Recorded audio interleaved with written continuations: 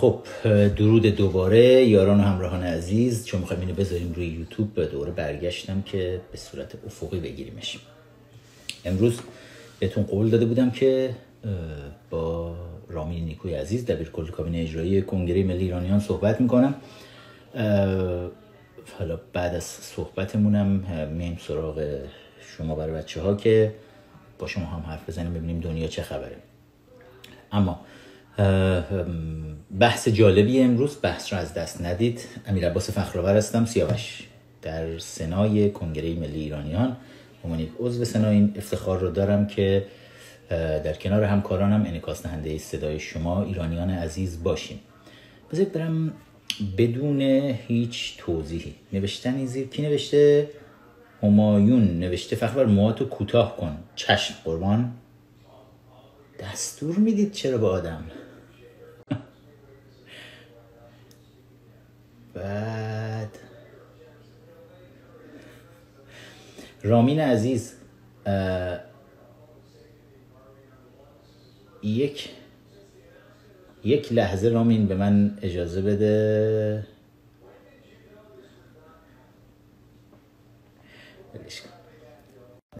می‌خواد بیاد بالا صحبت کنه. جهادی باش حالا بعد از این صحبت. میایم بالا حرف می‌زنیم.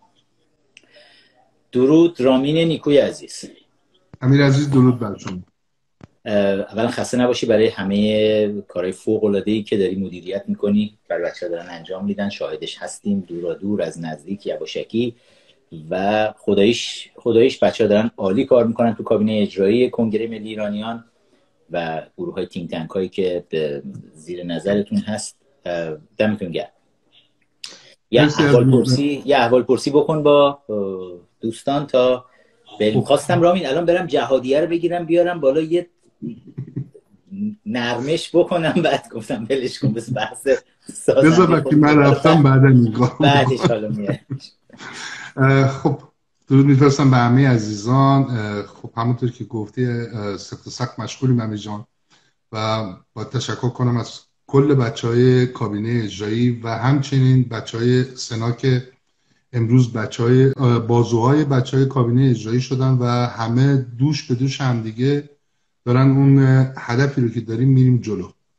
اگر اجازه بدی من یه گزارش خیلی کوتاهی در رابطه با کارهایی که در حال انجامش هستیم بدم. البته تا اونجایی که می‌تونم عنوان کنم چون خودت می‌دونی که بعضی موقع کارهایی که داریم می‌کنیم و اگه بخوایم از آره، قبل عنوان کنیم قبل از اینکه نتیجه برسه می‌خوام یه اجازه ازت بخوام رامین. قبل از اینکه بریم به توضیح کارا بذار اینو بذاریم برای بخش بعدی صحبتمون یعنی آخر صحبت آخرای صحبت.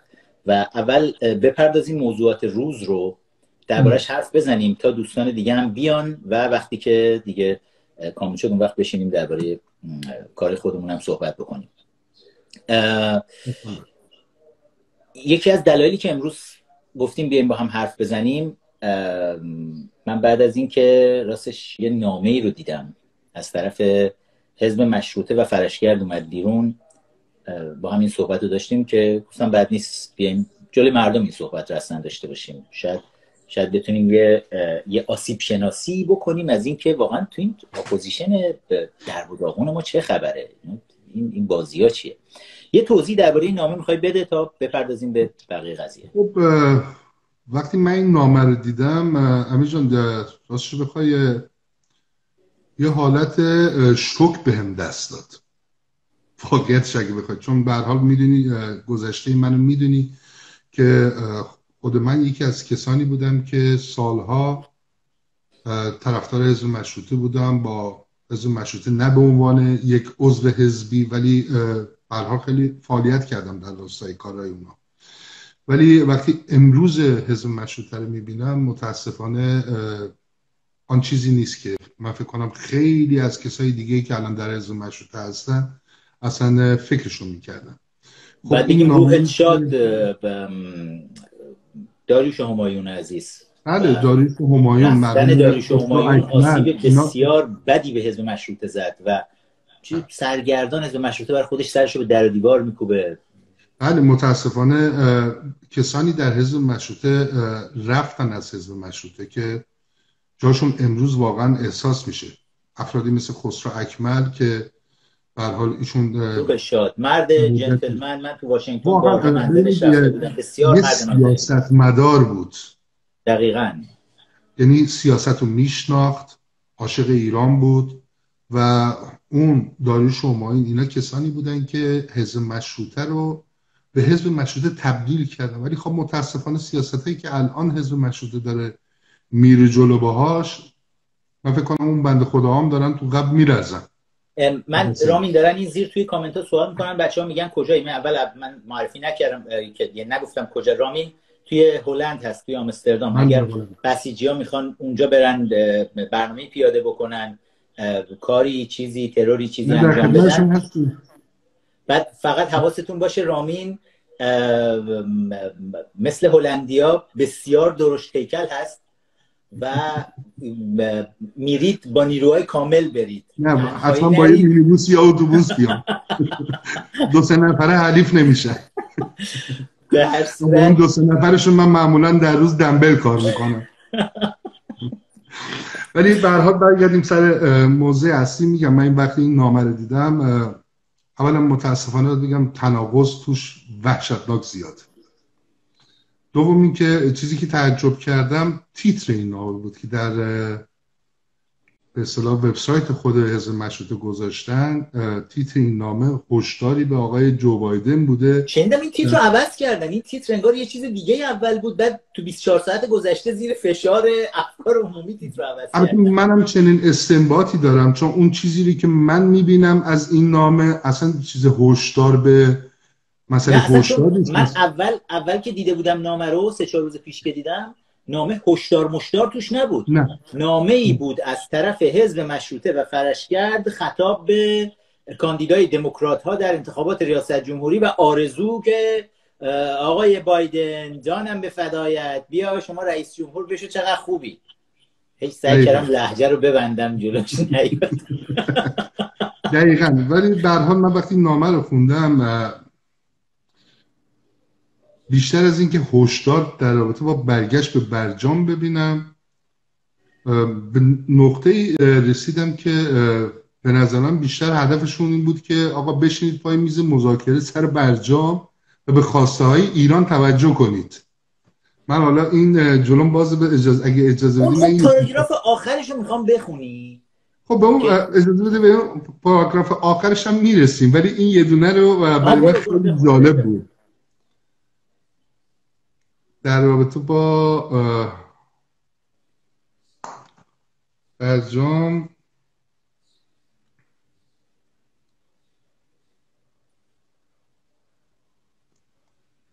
اینقدر من این چیز رو قرمز کردم نوشته رو که مطالبشو که واقعا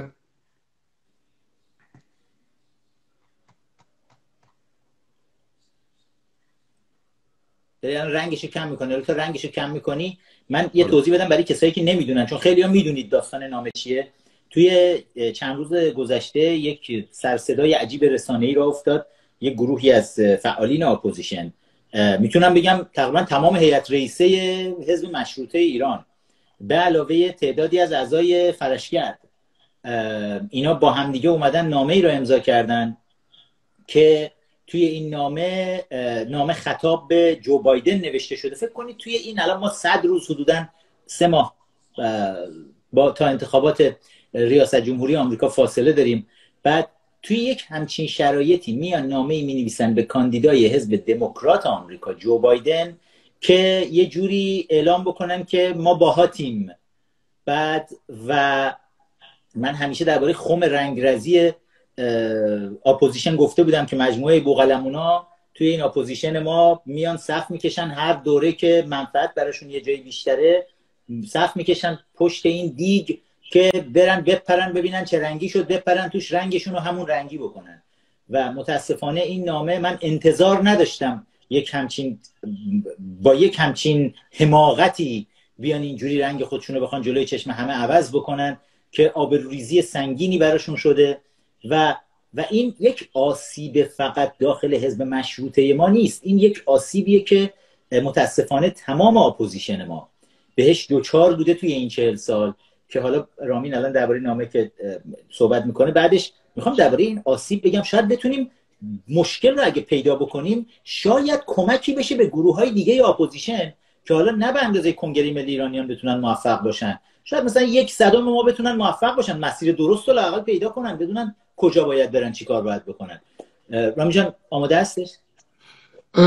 متاسفانه من اون تیکر قرمز نکردم ولی نمی‌تونم پیدا کنم. ولی اگه اجازه بدی بریم اون قسمتی که شما میگیم این نام هشدار نیست که همون در از پاراگراف آخره. جنبندی نامه است نتیجه جنبندی نامه. البته میگم در طول نامه من همین چیزایی که می‌بینم مثلا خروج از برجام که توسط آقای ترامپ انجام شد و این خیلی کمک کرد به اینکه پول مردم ایران دیگه قرج تروریست و اینا نشه. یعنی در تمام موارد من دارم یه نوعی دفاع می‌بینم ولی در آخرش میام حمایت از جو بایدن می‌بینم. یه دونه به نر یه دونه به میخ زدن دقیقا. در رابطه با مسئله بستن مرزها ورود به اصطلاح مسلمونا بله اونجا مثلا میاد عنوان می‌کنه که خب خیلی چی شد. حتی مثال می‌زنه آقای دهنوری رو.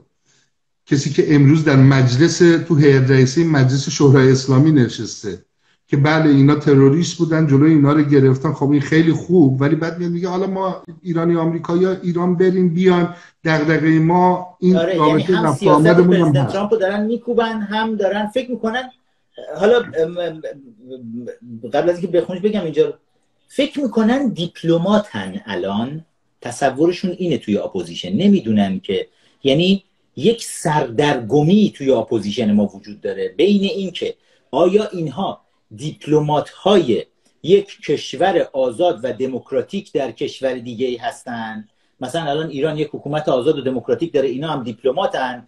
یا اینکه فعالین opposition هستند که باید برخوردهای ساختار شکنانه علیه رژیم دیکتاتوری حاکم داشته باشن. من فکر می‌کنم توی این دو قطبی opposition ما اسیر شده و هی می‌خواد هم ادای دیپلمات در بیاره هم اکتیویست برانداز باشه. اتفاقا یه موردی که تو این نامه است که برای من خیلی جای تعجب بود این بود که مثل که دوستان مشروطه خواه ما اصلا فراموش کردن د 97 چون میان اشاره می‌کنن به آبان 98 که مردم مشروعیت نظام و دی 90 ببخشید دی 96 و 2017 رو. و اصلا اشاره به 2000 انگار که مثلا در این تار مثلا دی 2017 هیچ اتفاقی تو مملکت نیفتاد. می‌دونی می‌دونی چرا؟ می‌دونی چرا این کارو می‌کنن؟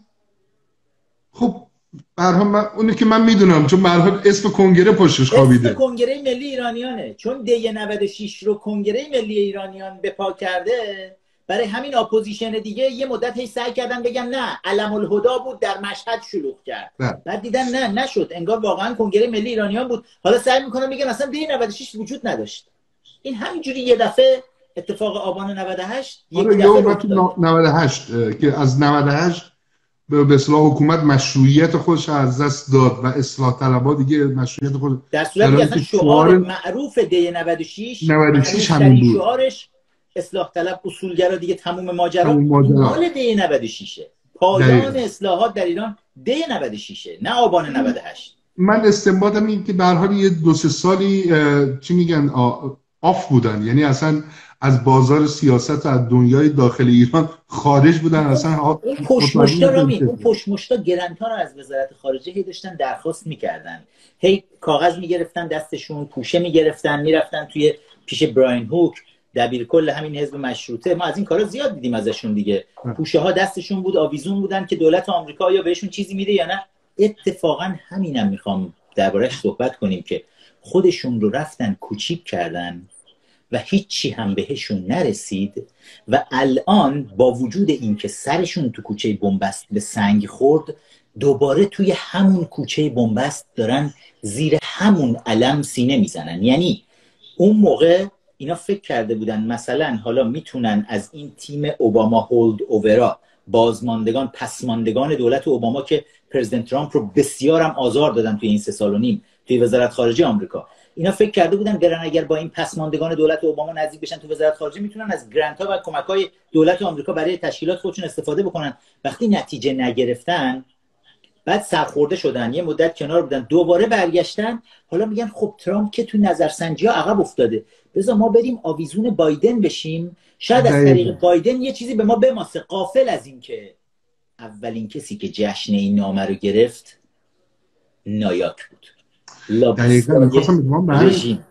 تشابه خیلی نامه تو سقف وایستادن. اگه چیزی قرار باشه به ماسه میره به اونا میماسه. می‌ذارن حتی هم به اینا برسه. چیزی که خیلی جالب بود تقارن زمانی نامه حمایت از جو بایدن توسط نایاک و حزب مشروطه بود و اینکه به نکاتی در هر دو نامه اشاره شده که شبیه هم دیگه است. هم برجام هم مسئله به اصطلاح رفت آمد ایرانی ها و رامین انقدرم یعنی نامه زمانی میاد بیرون که بایتن بایدن میره سخنرانی می‌کنه برای یک تشکیلات تروریستی مسلمان ها توی آمریکا که کر پشتشه کر مال مسلم برادرهود اخوان المسلمین که اتفاقا توی رفیق آیت الله نوشتم یکی از گروه هایی که توسط سازمان امنیت شوروی توی جهان اسلام ساخته شد همین اخوان المسلمینه گروه کر وابسته به اخوان المسلمین میاد. یک برنامه می‌ذاره که شاید بد نباشه اونایی که نمی‌دونن دستیار اول خانم هیلاری کلینتون هما آبدین مادرش مسئول زنان اخوان المسلمینه یعنی انقدر کلینتون ها نزدیک و دموکرات ها نزدیک به گروه های رادیکال تروریست مسلمان هستند. این گروه میاد برای بایدن. یک برنامه سخنرانی مثلا می‌ذاره. بایدن که از توی زیرزمین خونش که بیرون نمیاد. ولی تعداد بیننده اینا یه برنامه ویرچوال می‌ذارن مثلا همین برنامه های آنلاینی می‌ذارن. رامی می‌دونی چند نفر تو اون برنامه داشتن نگاه می‌کردن زنده؟ من اون چیز جو بایدنی که نگاه کردم 6 نفر بودن مثل نه نه بعدا پسر ترامپ اومد اتفاقا یکی گذاشت بالا که 19 نفر توی بالاترین حالت 26 نفر. 26 نفر داشتن این برنامه رو مثلا زنده نگاه می‌کردن و توی یه همچین برنامه ای بایدن برمیگرده حدیث می‌خونه از پیامبر اسلام برای امر به معروف و نهی از منکر. همین بلایی که مله ها به اسم امر به معروف و نهی از منکر. سر ایران ما آوردن سر زنان ایران آوردن. هر غلطی دلشون خواست به اسم امر به معروف و نهی از منکر کردن. حالا مسلمانای تندروی آمریکایی اومدن. کله پوک بایدن رو پر کردن با این حرفا که اسلام دین مروت رحمت امر به معروف می‌کنن ما همه خوبیم چقدر عالی. و بایدن میاد میگه چقدر خوبه میاد حدیث محمد رو می‌خونه میگه اینجوری باشیم چقدر خوبه. و میگه چقدر بده که ما توی مدارس و دانشگاه های آمریکا اسلام رو تعلیم نمیدیم به دانشجوها. تعالیم اسلامی نداریم. آقا اینجا آمریکاست اینجا کشور 99 درصد مسیحی هن ولی تعالیم مسیحیت ندارن.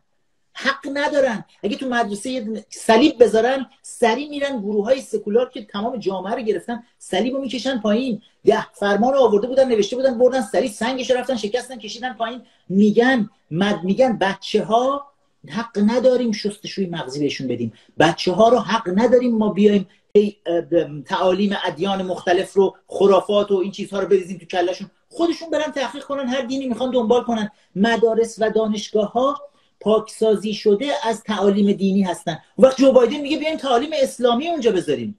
بعد درست همین موقعی که بایدن این حرفو می‌زنه این نامه حمایتی در میاد بسیار جای فکر خب ببینید دقیقا من مشکلم همینجاست. من برای جو بایدن اشکال نمی‌گیرم. اون یه نامزد میاد تبلیغات می‌خواد بکنه می‌خواد چند نفر از مسلمان ها هم تو کمپین تبلیغاتی خودش بیاره.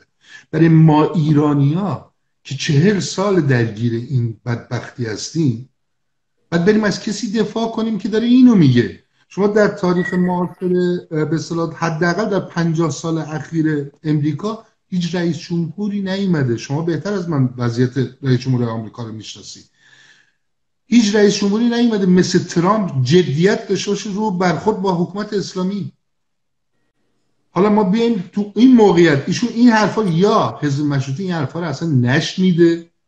من دو حالت میدم. یا میگم نشنیده یا میگم که احتمالا در همون راسته می‌خواد حرکت کنه. ببینید من الان در رابطه با برجام موضوعی که گفته بودم پیدا کردم. اینجا نوشته بسیاری از ایرانی آمریکایی از ابتدا و به طور کلی با برجام مخالف بودن.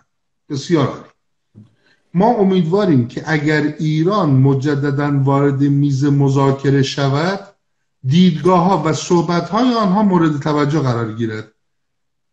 یعنی بشنوید جمهوری اسلامی چی می‌خواد از شما؟ که اتفاقا اینم درست زمانی میاد بیرون که اون سند 80 صفحه‌ای تیم بایدن روی وبسایتش بله. قرار می‌گیره که توی اون سند درباره ایران دقیقا نوشته میشه بایدن اگر رئیس جمهور بشه برمیگرده به برمیگرده به برجام بدون توی, توی این موقعیت بیان و حالا آخر نامه چون اینا اومدن بعد اومدن چند تا بیانیه پشت سر هم دادن title نامه رو رفتن عوض شروع کردن ماله کشی کردن به جای عذرخواهی از مردم که آقا ببخشید غلط کردیم. ما توی یه سری از این نظرسنجی های آمریکایی دیده بودیم ترامپ چند درصد عقب افتاده. دقیقا این دلیلی بود که اینا این کارو کردن. دیدن توی نظرسنجی ها مثلا ترامپ عقب افتاده فکر کردن الان ممه رو داره لولو می‌بره. بدو بدو دنبال لولو را افتادن. لولو ما هم با خودت ببر. خب شما در جریانی در امریکا قبل از اینکه آقای ترامپ به قدرت برسه تا دو روز قبلش تا یک روز قبلش. هم دقیقه قبل از اعلام نتیجه. داشتن میکوبیدن. صبح صبح روز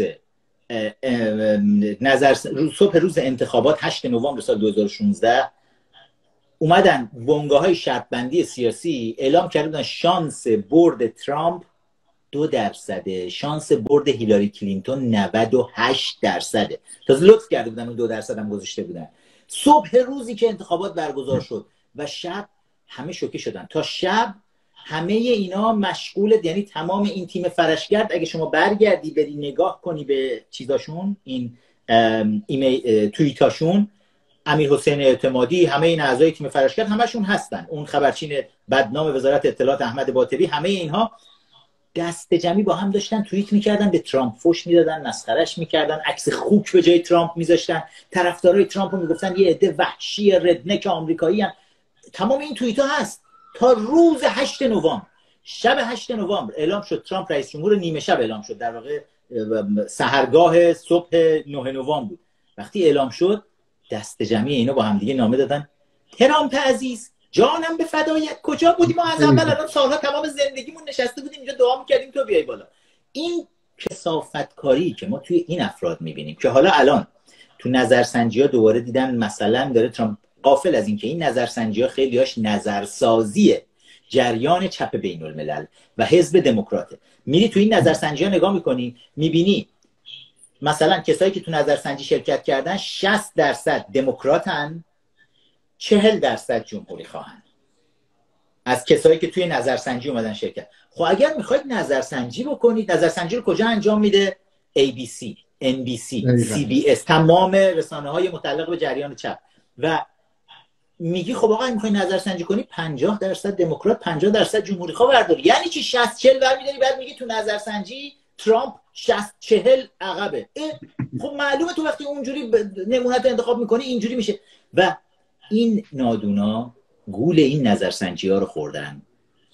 و حالا می‌خوام درباره این رامین که ببینیم آیا آیا توی opposition وظیفه ما باید این باشه که توی کشوری که داریم زندگی می‌کنیم ما الان ایرانی ها توی کشور مختلف دنیا هستیم آیا وظیفهمون باید این باشه بریم ببینیم سیاست کدوم سیاست مدار داره میاد بالا برای منافع شخصی خودمون. کاری نداشته باشیم اون سیاست مدار و حزبش چه موازهی در قبال ایران ما داره. ولی چون خودمون داریم تو این کشور زندگی می‌کنیم برای منافع شخصی خودمون بریم پشت این سیاست مداری که الان داره میاد بالا وایسیم و توجیهش هم بکنیم. دقیقا, دقیقا اشاره من به همین قضیه است. ببین شما این نامه رو وقتی می‌خونی بعد میاد می‌نویسه آمریکا که خانه دوم ماست.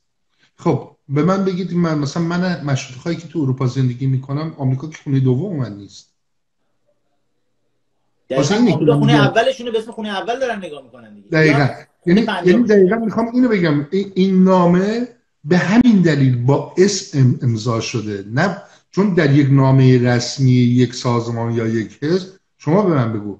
وقتی که یک حزب یا یک سازمان نامه ای می نویسی کی زیرش امضا می‌کنه دبیر کل یعنی وقتی دبیر کد امضا کرد میشه رسمیت کل اون مجموعه.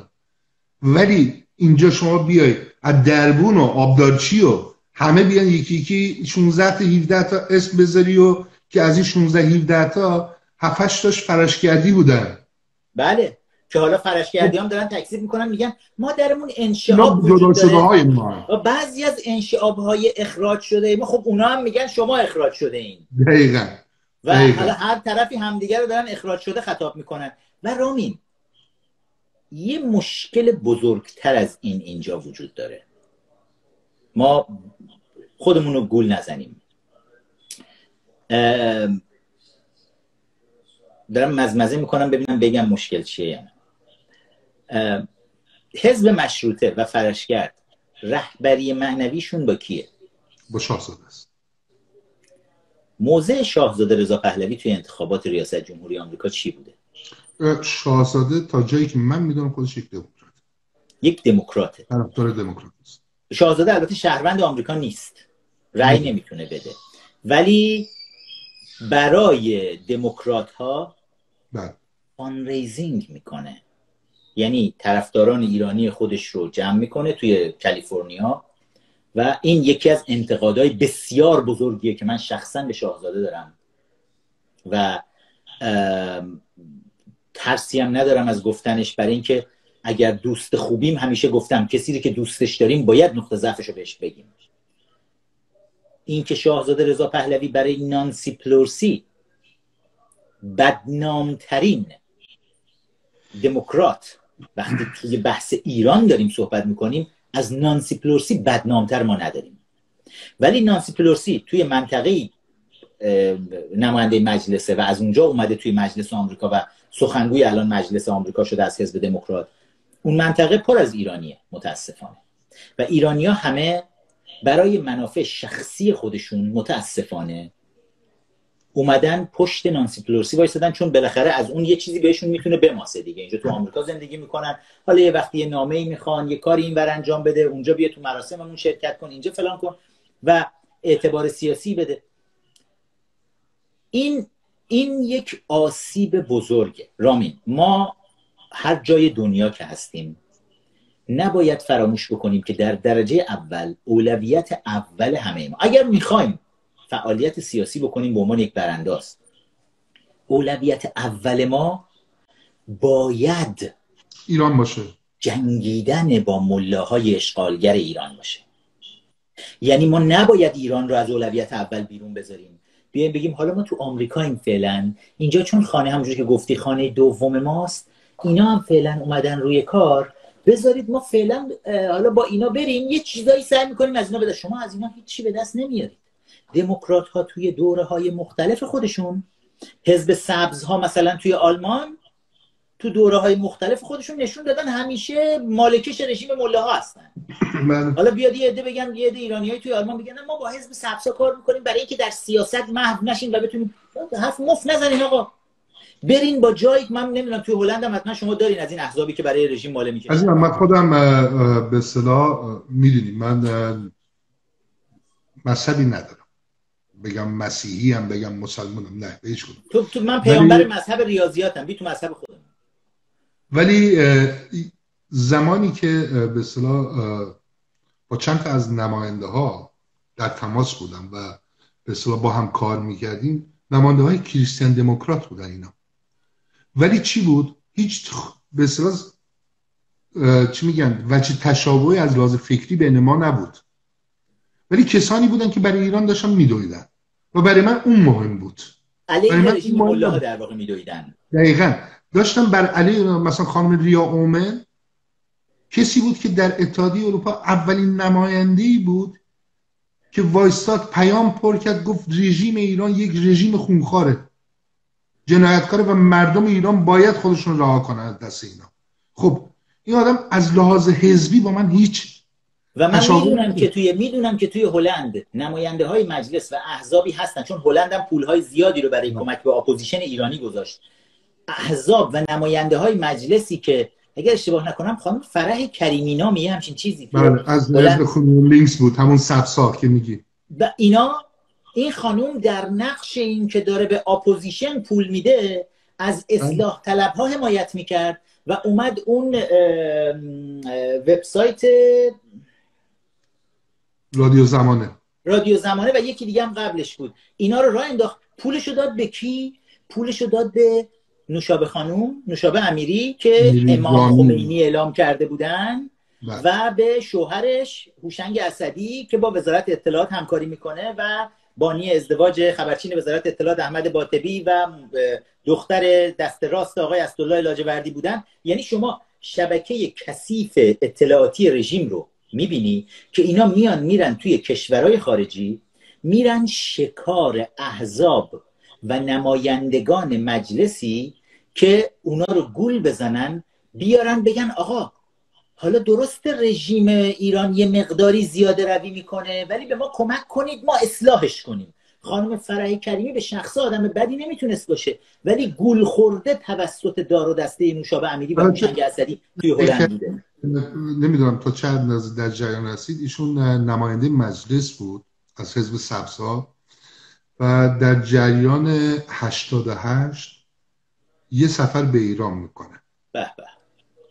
و به صلاح اجندایی رو با خودش می‌بره به ایران که وقتی که تو ایران اون اجندا رو ازش می‌گیرن و خب یه عده هم فکر می‌کردن که خب ایشون نماینده مجلس به ایرانی ها می‌خواد کمک کنه. ارتباطاتی با داخل کشور برقرار کرده بود که همه اجندا باعث میشه خیلی در داخل ایران تو تله بیفتن. و وقتی برمیگرده اولین کاری که دولت هلند می‌کنه چون خود ایشون هم پناهنده بوده پناهنده سیاسی بوده. واقعا من نمی‌دونستم. برمیگرده میگه که شما چطور بلند شدی رفتی با پاسپورت ایرانی؟ رفتی ایران؟ با پاسپورت ایرانی رفتی ایران؟ دنیزی تو تمام صحبتات دروغ بود و از نمایندگی مجلس خلش می‌کنن. عجب. من اینو نمی‌دونستم. ولی آره. ولی این خانوم اگر اشتباه نکنم ده میلیون یورو بله. پول برای این جریانات برای زمانه. از کیسه مردم هلند این بله. پول رو خرج می‌کنه برای جریانات اصلاح طلب. و ما از این دسته توی آمریکا هم زیاد داشتیم. توی تمام کشورهای دیگه. یعنی شبکه های اطلاعاتی رژیم بیرون اتفاقا خیلی فعال کار می‌کنن. شما می‌بینید نایک نمیاد توی واشنگتن بگه من یک گروه لابی جمهوری اسلامی هستم که NIAC توی جریان جنبش سبز لیدر NIAC آقای تریتا پارسی که نوچه جواد ظریفه دانش آموخته جواد ظریفه NIAC میشست توی CNN به عنوان رهبر opposition. زیرش تیتر می‌زدن. The leader of Iranian opposition. به لیدر یعنی رهبر کاریزماتیک opposition ایرانی تریتا پارسی توی سی این تیتر رو براش می‌زدن و میشست و خیلی نرم جنبش سبز رو می‌زد. میشست می‌گفت آره اینا هیچ کس برانداز نیست. اینایی که می‌بینید همشون اومدن یک سری اختلافات داخلی وجود داره. مردم همه راضی از حکومت که دارن میان رأی میدن وگرنه نمی اومدن رأی بدن. حالا هم دارن میگن رأیمون کو؟ چون یه عده اینجا سوء استفاده کردن. یعنی این جور کلاهبرداری هایی که گروه های وابسته گروه های اطلاعاتی رژیم در بیرون کشور دارن انجام میدن خب ما از اونها انتظار داریم. بیان اینجور مواقع برن وایسن پشت بایدن کما اینکه نهایت کلام می‌بینیم پشت بایدن وایساده ولی ولی حرف اینه. وقتی ما رئیس جمهوری رو داریم پرزیدنت ترامپ که برای نخستین بار همونجوری که گفتی توی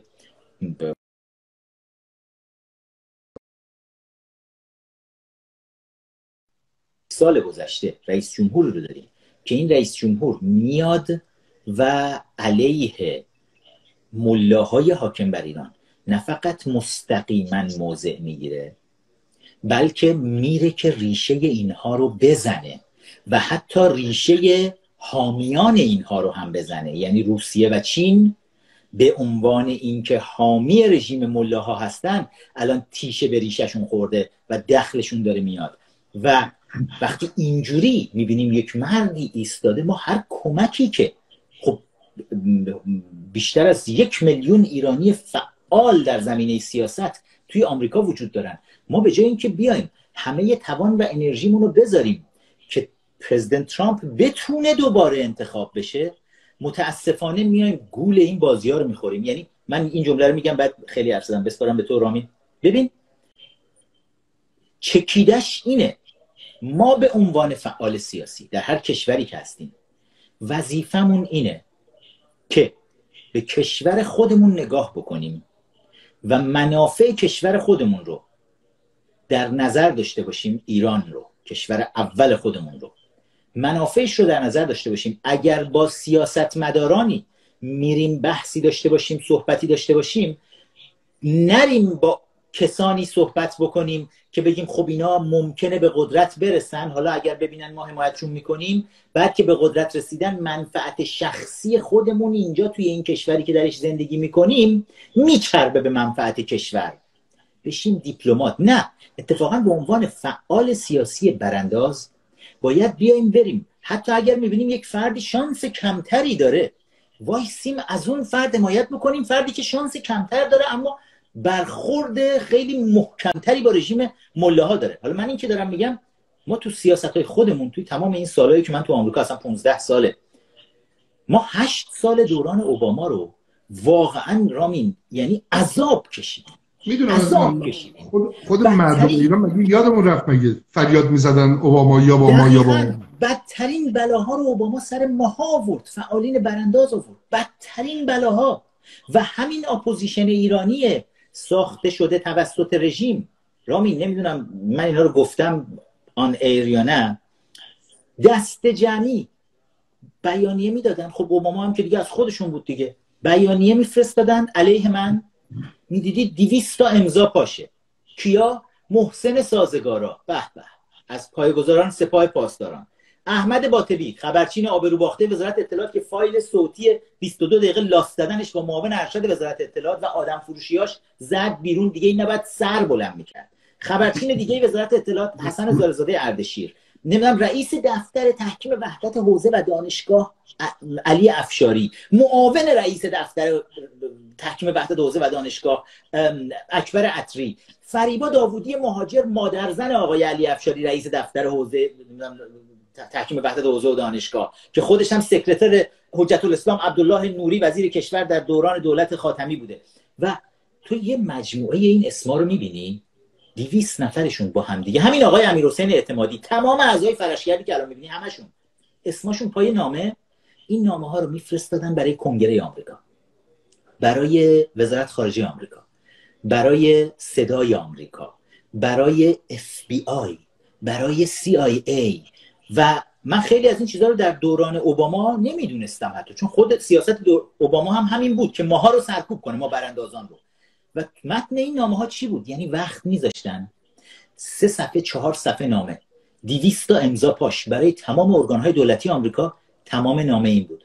فخرآور مأمور جمهوری اسلامیه. به فخرآور توجه نکنید. فخرآور رو بهش citizenship ندید در آمریکا. برای اف بی آی این نامه رو اینجوری نوشته بودن. دست جمعی با هم دیگه. من تمام اون اسناد رو دارم و به زودی خدمت همشون می‌رسم. بذار از این گرفتاری انتخاباتی بیایم بیرون الان. این یکم سرمون خلوت بشه. و و دست جمعی تمام هدفشون رو گذاشته بودن. این شبه اپوزیشن که نذاریم فخرآور چون اینو بزنیم کنگره ملی ایرانیان رو زدیم کنفدراسیون دانشجویان ایرانی رو زدیم خیلی ها رو زدیم. و بعد از چند سال که در دوران اوباما همه کاری اینا کردن شد 2016 و پرزیدنت ترامپ انتخاب شد تازه اف بی آی اومد سراغ من و گفت که ببین ما اینا همه رو دریافت کردیم و فهمیدیم چقدر این آدما عوضی و چه شبکه علیه تو راه انداختن. و تازه رفتن سراغشون که این شبکه رو بشناسن که شبکه لابی های رژیم در آمریکا به اسم اپوزیشن کیا هستن و چه غلطهایی دارن می‌کنن.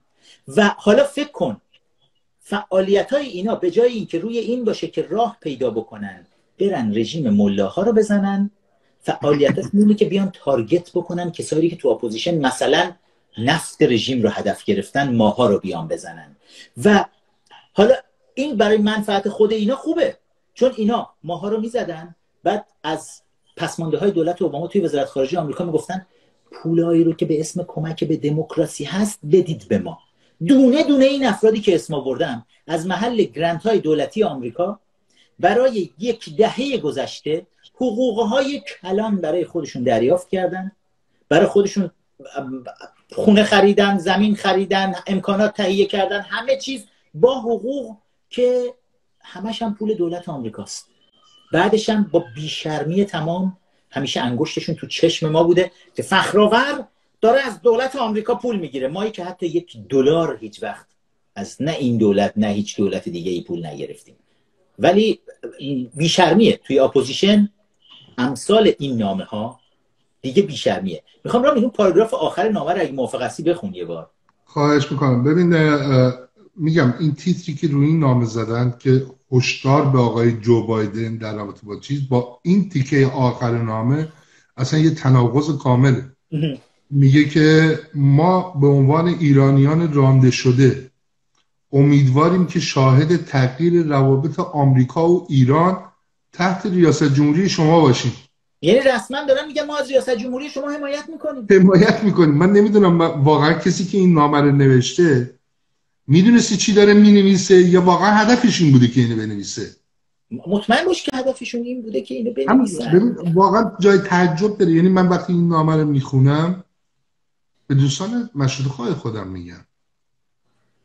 وقتی این نامه رو می‌خونم میگم یه فرقی هست بین گروه های برانداز و جا انداز و امروز حزب مشروطه یک جا انداز یک واقعیته یک واقعیت متصل من بعضی از این افراد رو خیلی خوب می‌شناسم.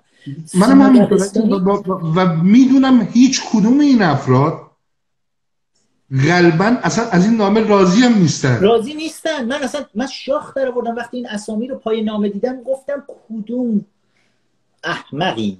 اینها رو وادار کرده بیان این رو بذارن اینجا. حالا یه بحثی که نیمه کارمون می‌خواستم تو صحبت رو بکن. من با گفتم با شاهزاده کار دارم اینجا. من روی اون اصلی مقدار کار دارم. این بخش پاراگراف رو بخون بذار من اون یکی گوشی رو بیارم. می‌خوام این بخش رو بخونم برات.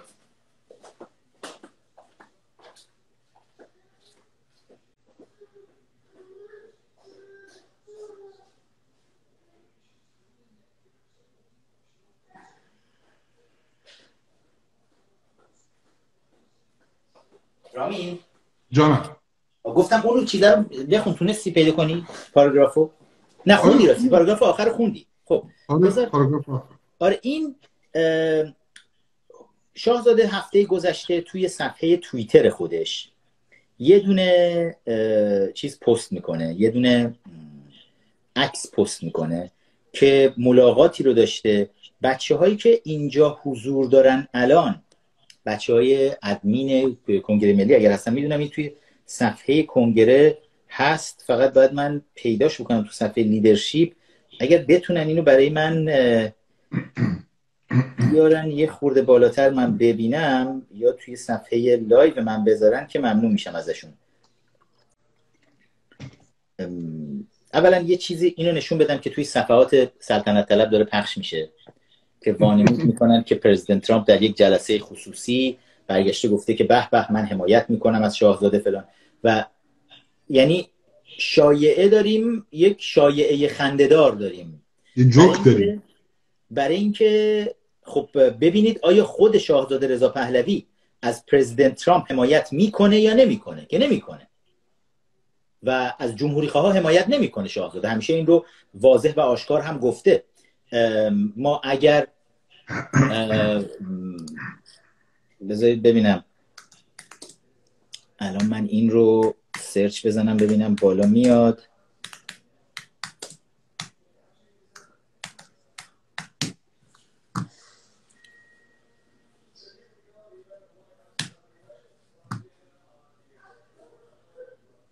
توی خیلی از این fundraising هایی که مثلا گذاشته میشه و توی fundraising شما می‌بینید که شاهزاده رضا پهلوی کنار نانسی پلوسی ایستاده کنار براد شرمن ایستاده یکی دیگه از دموکرات های بسیار بدنام که توی کالیفرنیا باز هم هست و اینا علیه پرزیدنت ترامپ جنجال های بسیار سنگینی رو راه انداختن. خب تمام اینها رو با search ساده شما فقط اسمها رو کنار همدیگه search بکنید براتون میاد بالا توی گوگل. بعد و در دوران تو انتخابات قبلی دخترای شاهزاده برای کمپین هیلاری کلینتون در کنار دختر هیلاری کلینتون چلسی کلینتون عکس می‌گرفتن حضور داشتن کمپین می‌کردن خودشون توی کمپین دموکرات حضور داشتن. شخص شاهزاده توی کمپین. من سوالم از شاهزاده اینه.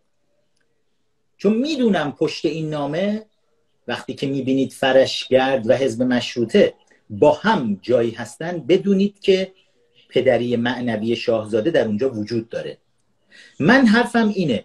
شاهزاده رضا پهلوی در تمام این سالهایی که از دموکرات ها حمایت کرده چه خدمتی از دموکرات ها به ایران ما دیده که حالا تصمیم داره همین حمایتش رو از دموکرات ها ادامه بده و از کی؟ از معاون رئیس جمهور در دوران اوباما که بدترین خیانت ها رو اوباما به مردم ایران کرد. بدترین خیانت ها رو. و بیشترین خدمت رو به مله های حاکم به ایران کرد که همین الان همچنان خدمتشون ادامه داره. یعنی تیم وکلای حقوقی که در کنار جان کری وزیر خارجه دولت اوباما بودن. وقتی همین آقای بایدن معاون رئیس جمهور بود جان کری وزیر خارجه بود. جان کری که همین الان کنار بایدن اومده قرار گرفته و می‌خواد تو دولت بعدی دوباره بیاد وزارت خارجه رو بگیره دست. این آقای جان کری تا همین چند ماه پیش هم ملاقات خودش رو با ظریف بازم داشت قبل از اینکه pandemic این ماجرای کرونا دیگه همه رو خونه نشین کنه.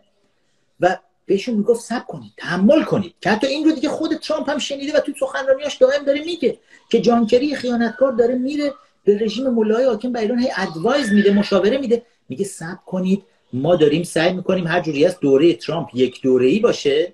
بعد خودمون برمیگردیم روی کار میایم باهاتون میشینیم مذاکرات رو ادامه میدیم تا روابط جمهوری اسلامی و آمریکا عادی بشه و دیگه همه چیز تموم بشه و حرف براندازی تموم شه بره پیکار حرفی که تو نامه 80 صفحه‌ای حزب دموکرات برای تو وبسایتش هم نوشتن. من می‌خوام بدونم شاهزاده ای که پیروز رفته ملاقات داشته با یکی از انستیتوها در واشنگتن که این انستیتو بنیانگذارش مشاور ارشد هیلاری مشاور ارشد باراک اوباما و یکی از اعضای اصلی کمپین بایدن برای انتخابات ریاست جمهوریه. و شاهزاده عکس خودش رو با تیم مدیریت این مؤسسه که داره تو کمپین ترامپ کار می‌کنه تو کمپین بایدن کار می‌کنه عکس خودش رو شاهزاده برش توییت کرده با این آدم ها آیا شاهزاده اطلاع داره؟ خونده که بایدن در وبسایت خودش نوشته که بحث تغییر رژیم ایران باید به طور کامل برای همیشه از سیاست آمریکا کنار بره؟ در بله. بالای بخشی که مربوط به ایران تو سیاست های بایدن نوشته شده بخش تغییر رژیم ایران باید کنار بره که سیاست اصلی دولت ترامپ الان تحریم ها باید برداشته بشه تحریم نفت برداشته بشه پول کافی به دست ملاها بازم برسه به برجام برگردیم دیگه چه بلایی می‌خواد بایدن سر ایران ما بیاره؟ برای چی شاهزاده بعد از دموکرات حمایت بکنه که طرفداران شاهزاده در حزب مشروطه و در فرشگرد به خودشون اجازه بدن انقدر بی حیا باشن که بردارن تازه نامه حمایت خودشون از بایدن رو بگیرن بذارن روی سایت. اینجا من فکر می‌کنم جای برخورد قاطع شاهزاده با نویسندگان این نامه خالی اگر می‌خواد ما باور کنیم که شاهزاده پشت نوشته شدن این نامه نبوده. ببین همین جان مسئله خب چیزایی که میگی درسته. متاسفانه آن چیزی که تاریخ به ما نشون داد و در دوران پدر و پدر بزرگ ایشون هم ما دیدیم.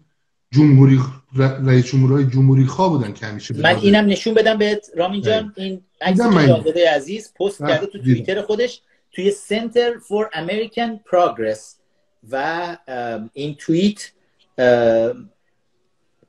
بگو ادامه بده من تاریخ توییتم دقیقا ببینید ما وقتی که به تاریخ نگاه می‌کنیم همیشه جمهوری خواه راسای جمهوری جمهوری خواه بودن که پشت مردم ایران وایستادن مملکت ملت ایران وایستادن. ولی خب حالا این انتخاب ایشونه. ولی اون چیزی که منو به اصطلاح قرقلک میده اذیت می‌کنه اینه. شما بخش عظیمی از طرفداران شاهزاده رضا پهلوی طرفداران ترامپ طرفداران ترامپ دقیقا. یعنی من وقتی هر کدوم از این گروه هاشون رو نگاه می‌کنم هر کدوم با کسانی که شخصا خودم می‌شناسم نگاه می‌کنم می‌بینم همه دارن تبلیغ ترامپ می‌کنن همه دارن به اصطلاح میگن بودن ترامپ یعنی پایان رژیم جمهوری اسلامی. ولی از اون مثلا ما می‌بینیم شاهزاده حمایت خوش از دموکرات ها اعلام می‌کنه. حزب مشروطه میاد بیانیه به اصطلاح نامه می نویسه برای آقای جو بایدن. من اسمشو نمی‌ذارم پشتار من می‌ذارم حمایت. هشدار ببین می‌دونی خودت می‌دونی تیتر نامه رو عوض کردن هشدار وقتی نامه نوشته هشدار درش وجود نداشت. اینا بعد از ریاست جمهوری شما یعنی ما از ما حمایت می‌کنیم از خودمون می‌شناسیم. ازتون حمایت می‌کنیم. و این کردیت دادن به این فرده. این فرد بعدا همینو میان تو کمپین خودشون. البته عددی نیستن که حزب مشروطه اینا که حالا حزب دو نفره یه لپتاپ که عددی نیست کسی روش حساب کنه. ما مشکلمون روی اینه که پتانسیلی که در اپوزیشن ایرانی وجود داره و ما می‌تونیم اون پتانسیل رو استفاده بکنیم. وقتی می‌بینیم پرزیدنت ترامپ میاد توی همون سال اول رئیس جمهور شدنش میره توی صحن سازمان ملل متحد تو سخنرانی خودش. وایسته از کوروش بزرگ یاد می‌کنه. از تاریخ و فرهنگ کهن ایران و ایرانی یاد می‌کنه. از ایرانیان ثروتمند یاد می‌کنه. از ایران ثروتمند یاد می‌کنه. از ایرانیان هوشمند یاد می‌کنه که متاسفانه گرفتار یک گروه کوچک ملایان عقب مانده در تاریخ شدن. وقتی پرزیدنت ترامپ اینجوری داره از ما ایرانی ها دفاع می‌کنه بابا خیلی نامردیه ما از پشت بهش خنجر بزنیم. خیلی نامردیه. از من مشکل اپوزیسیون تو این چهل سال امی جان همیشه همین بود. حداقل خودت چندین سال چند دهه من خودم چند دهه تو همین اپوزیسیون داریم بالا پایین میشیم. مشکل اپوزیسیون همین بوده. کوتاه فکری بوده نشناختن سیاست های بین المللی بوده و ایران رو در چیز اول نذاشتن سواری کردن. اینکه به صلاح منفعت خود را دیدن. آفرین. نه منفعت مملکت رو دیدن. من اگر امروز به اصطلاح ببینم گروهی هستش که حتی از لحاظ اعتقادی با ما مخالفه.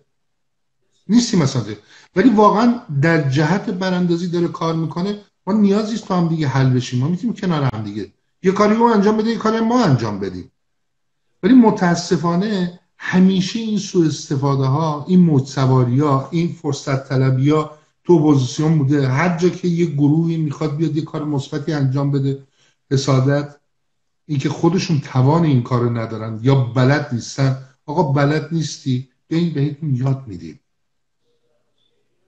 نمی‌دونید چیکار بکنید. بیایید در کنار همدیگه این کار رو انجام میدیم. بیا از اینجا به بعد رامین یکم هم بهشون یاد بدیم. از نحوه یک گزارشی می‌خواستی از فعالیت های کنگره ارائه بکنی؟ بذار من یه, یه خاطره ای رو بگم خیلی جالب بود. ما سه نفر بودیم.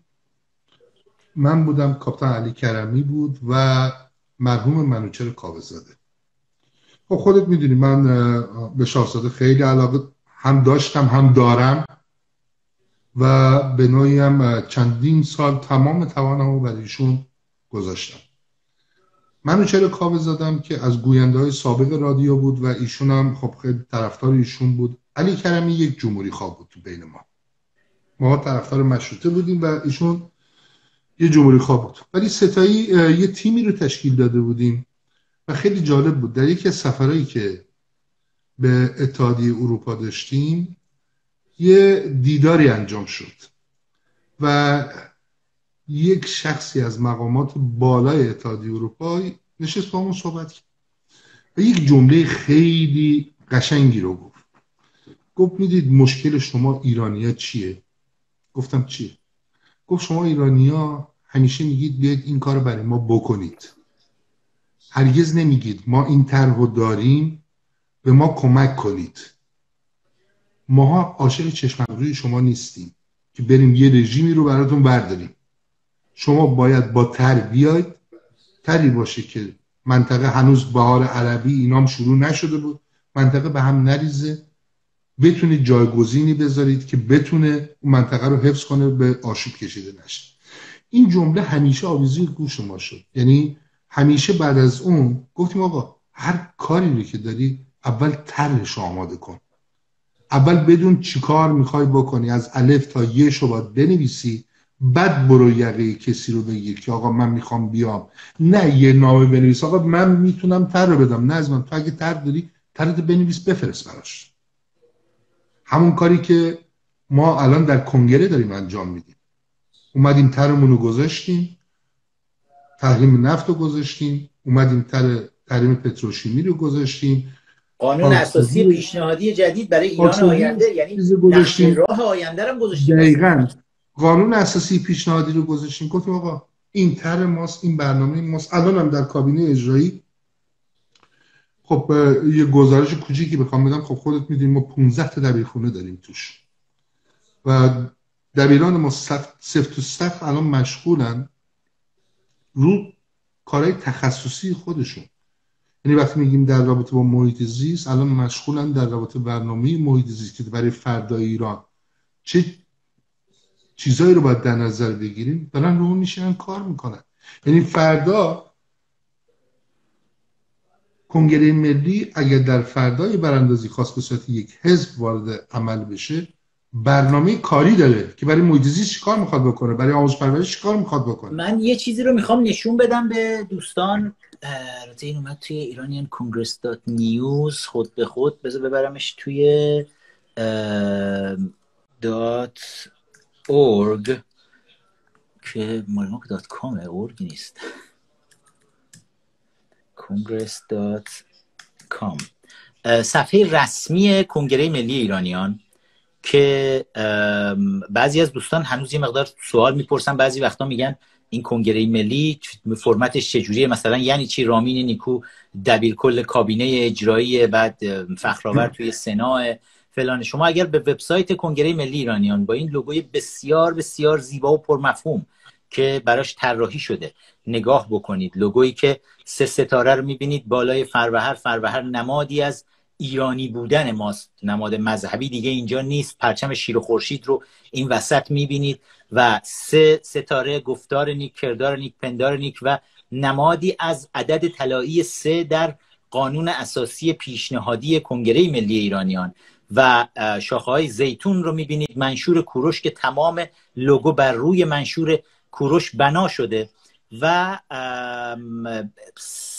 ارکان سگانه کنگره ملی ایرانیان یعنی کابینه اجرایی که لوگوی کابینه اجرایی این این لوگو هست و همینطور سنای کنگره ملی ایرانیان و دادبان که رامین نیکوی عزیز به عنوان دبیرکل کابینه اجرایی کنگره ملی ایرانیان خود من در سنا در خدمتتون هستم و ارژنگ داوودی عزیز که بیش از 17 سال رو حالا وارد 18 همین سال زندان خودش شده به عنوان دادبان کل کنگره ملی ایرانیان حضور داره و این ساختارشه. بعد هر کدوم از اینها رو که داخلشون میشید شما می‌تونید با ساختار چیزی که الان داره رامین توضیح میده دبیرخونه های مختلف رو می‌بینید توی کابینه اجرایی کنگره ملی ایرانیان. بی سر و صدا. بعضی از گروه ها قبل از اینکه چیزی بسازن میان از دولت در تبعید و از این حرفا حرف می‌زنن ولی شما یک دولت کامل رو توی یعنی کابینه کامل رو عملا توی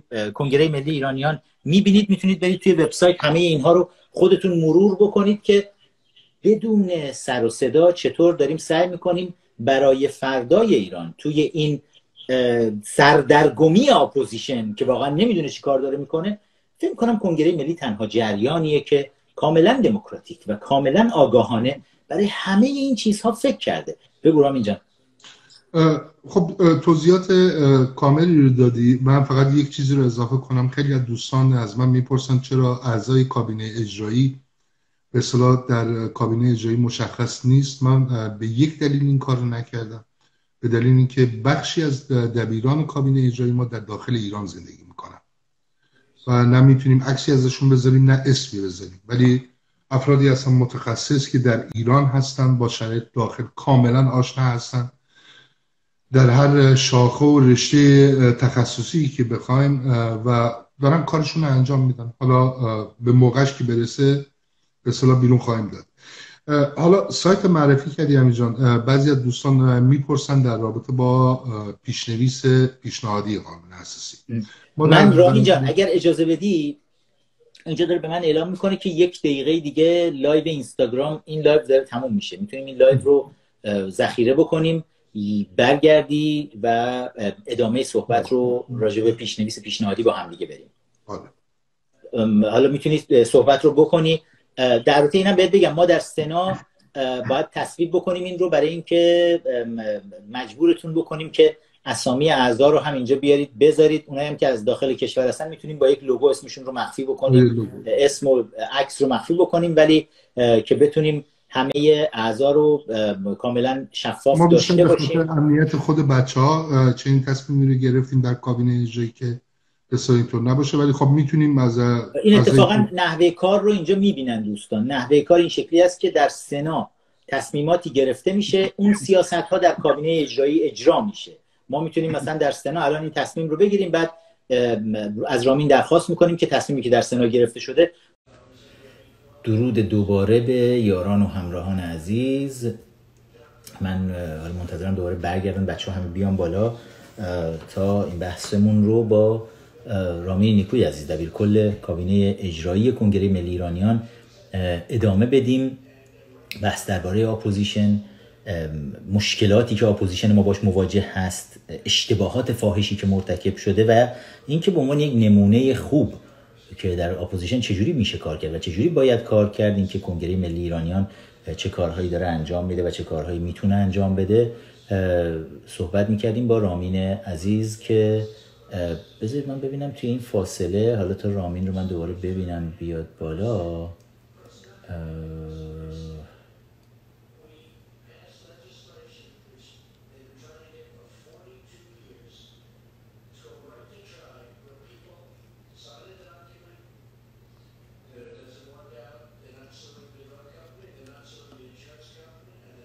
خب الان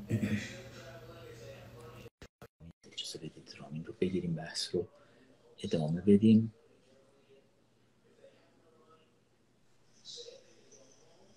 درود دوباره رامین عزیز. درود مجدد اوکی. خب داشتی می‌گفتی درباره مسئله در مورد پیشنویس پیشنهادی قانون اساسی کنگره ملی ایرانیان دوستان پرسیدن کجا میشه پیدا کرد.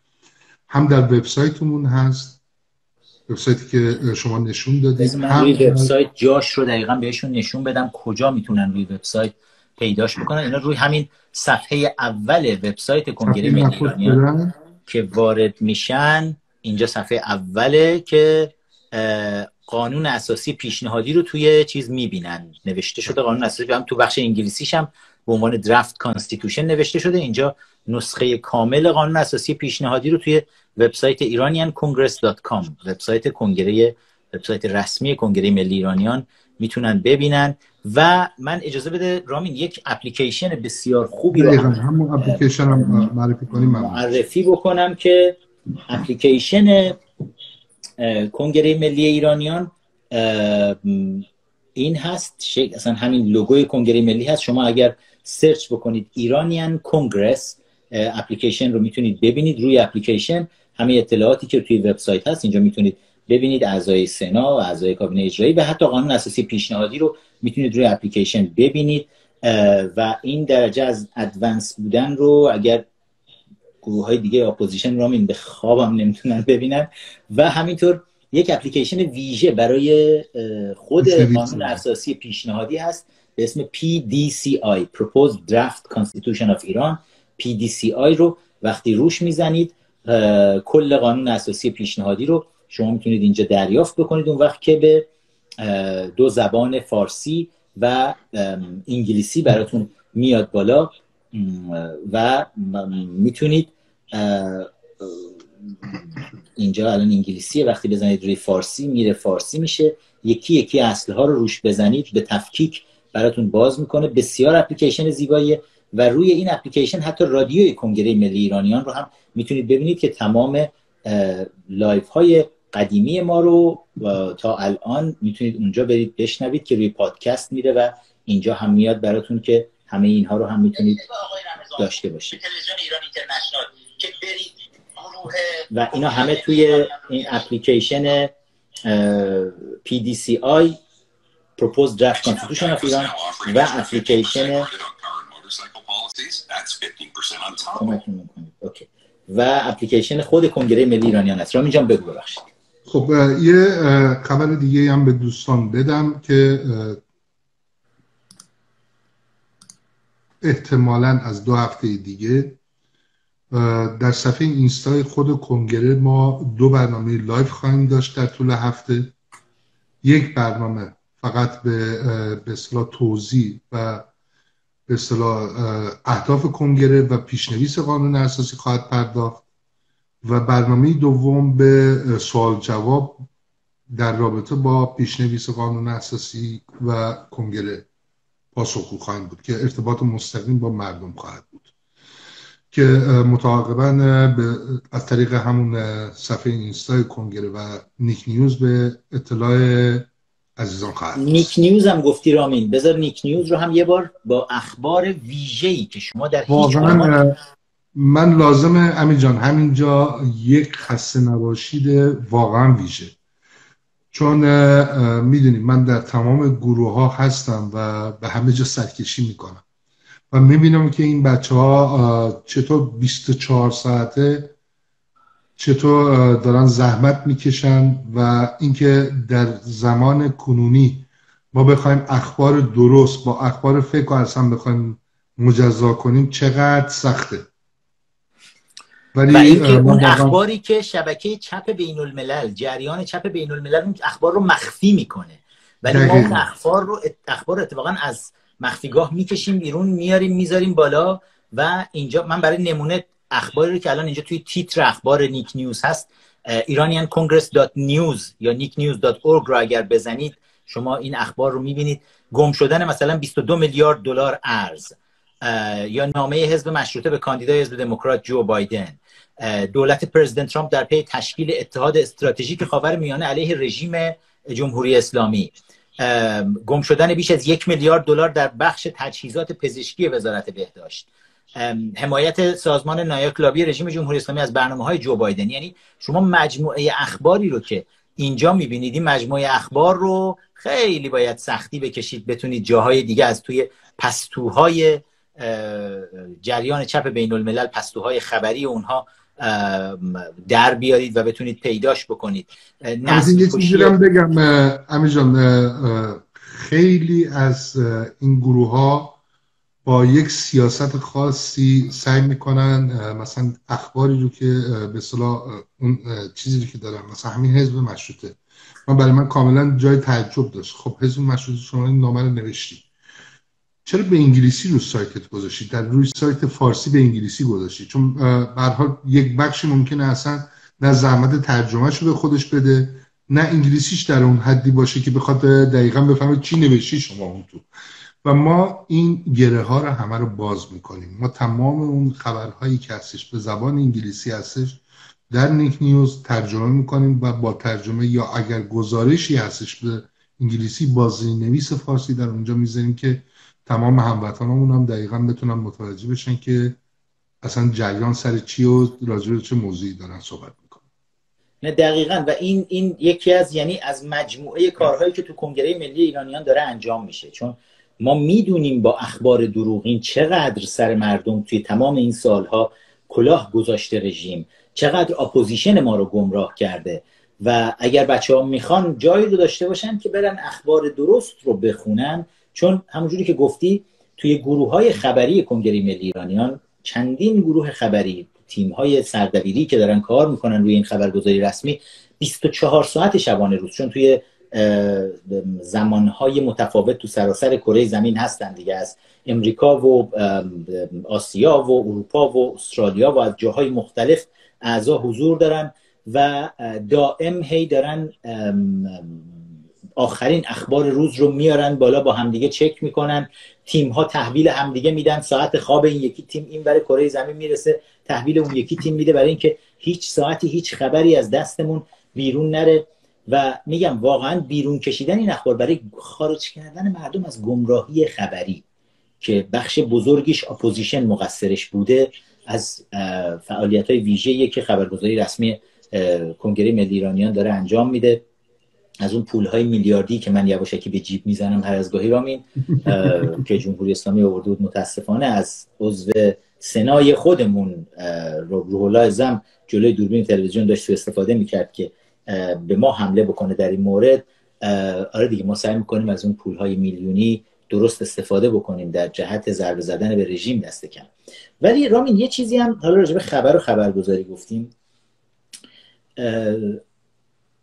دسترسی مردم به چهره های اپوزیشن تقریبا در حد صفره. خیلی از مردم سوال دارن از چهره های اپوزیشن. همونجور که ما خودمون می‌بینیم.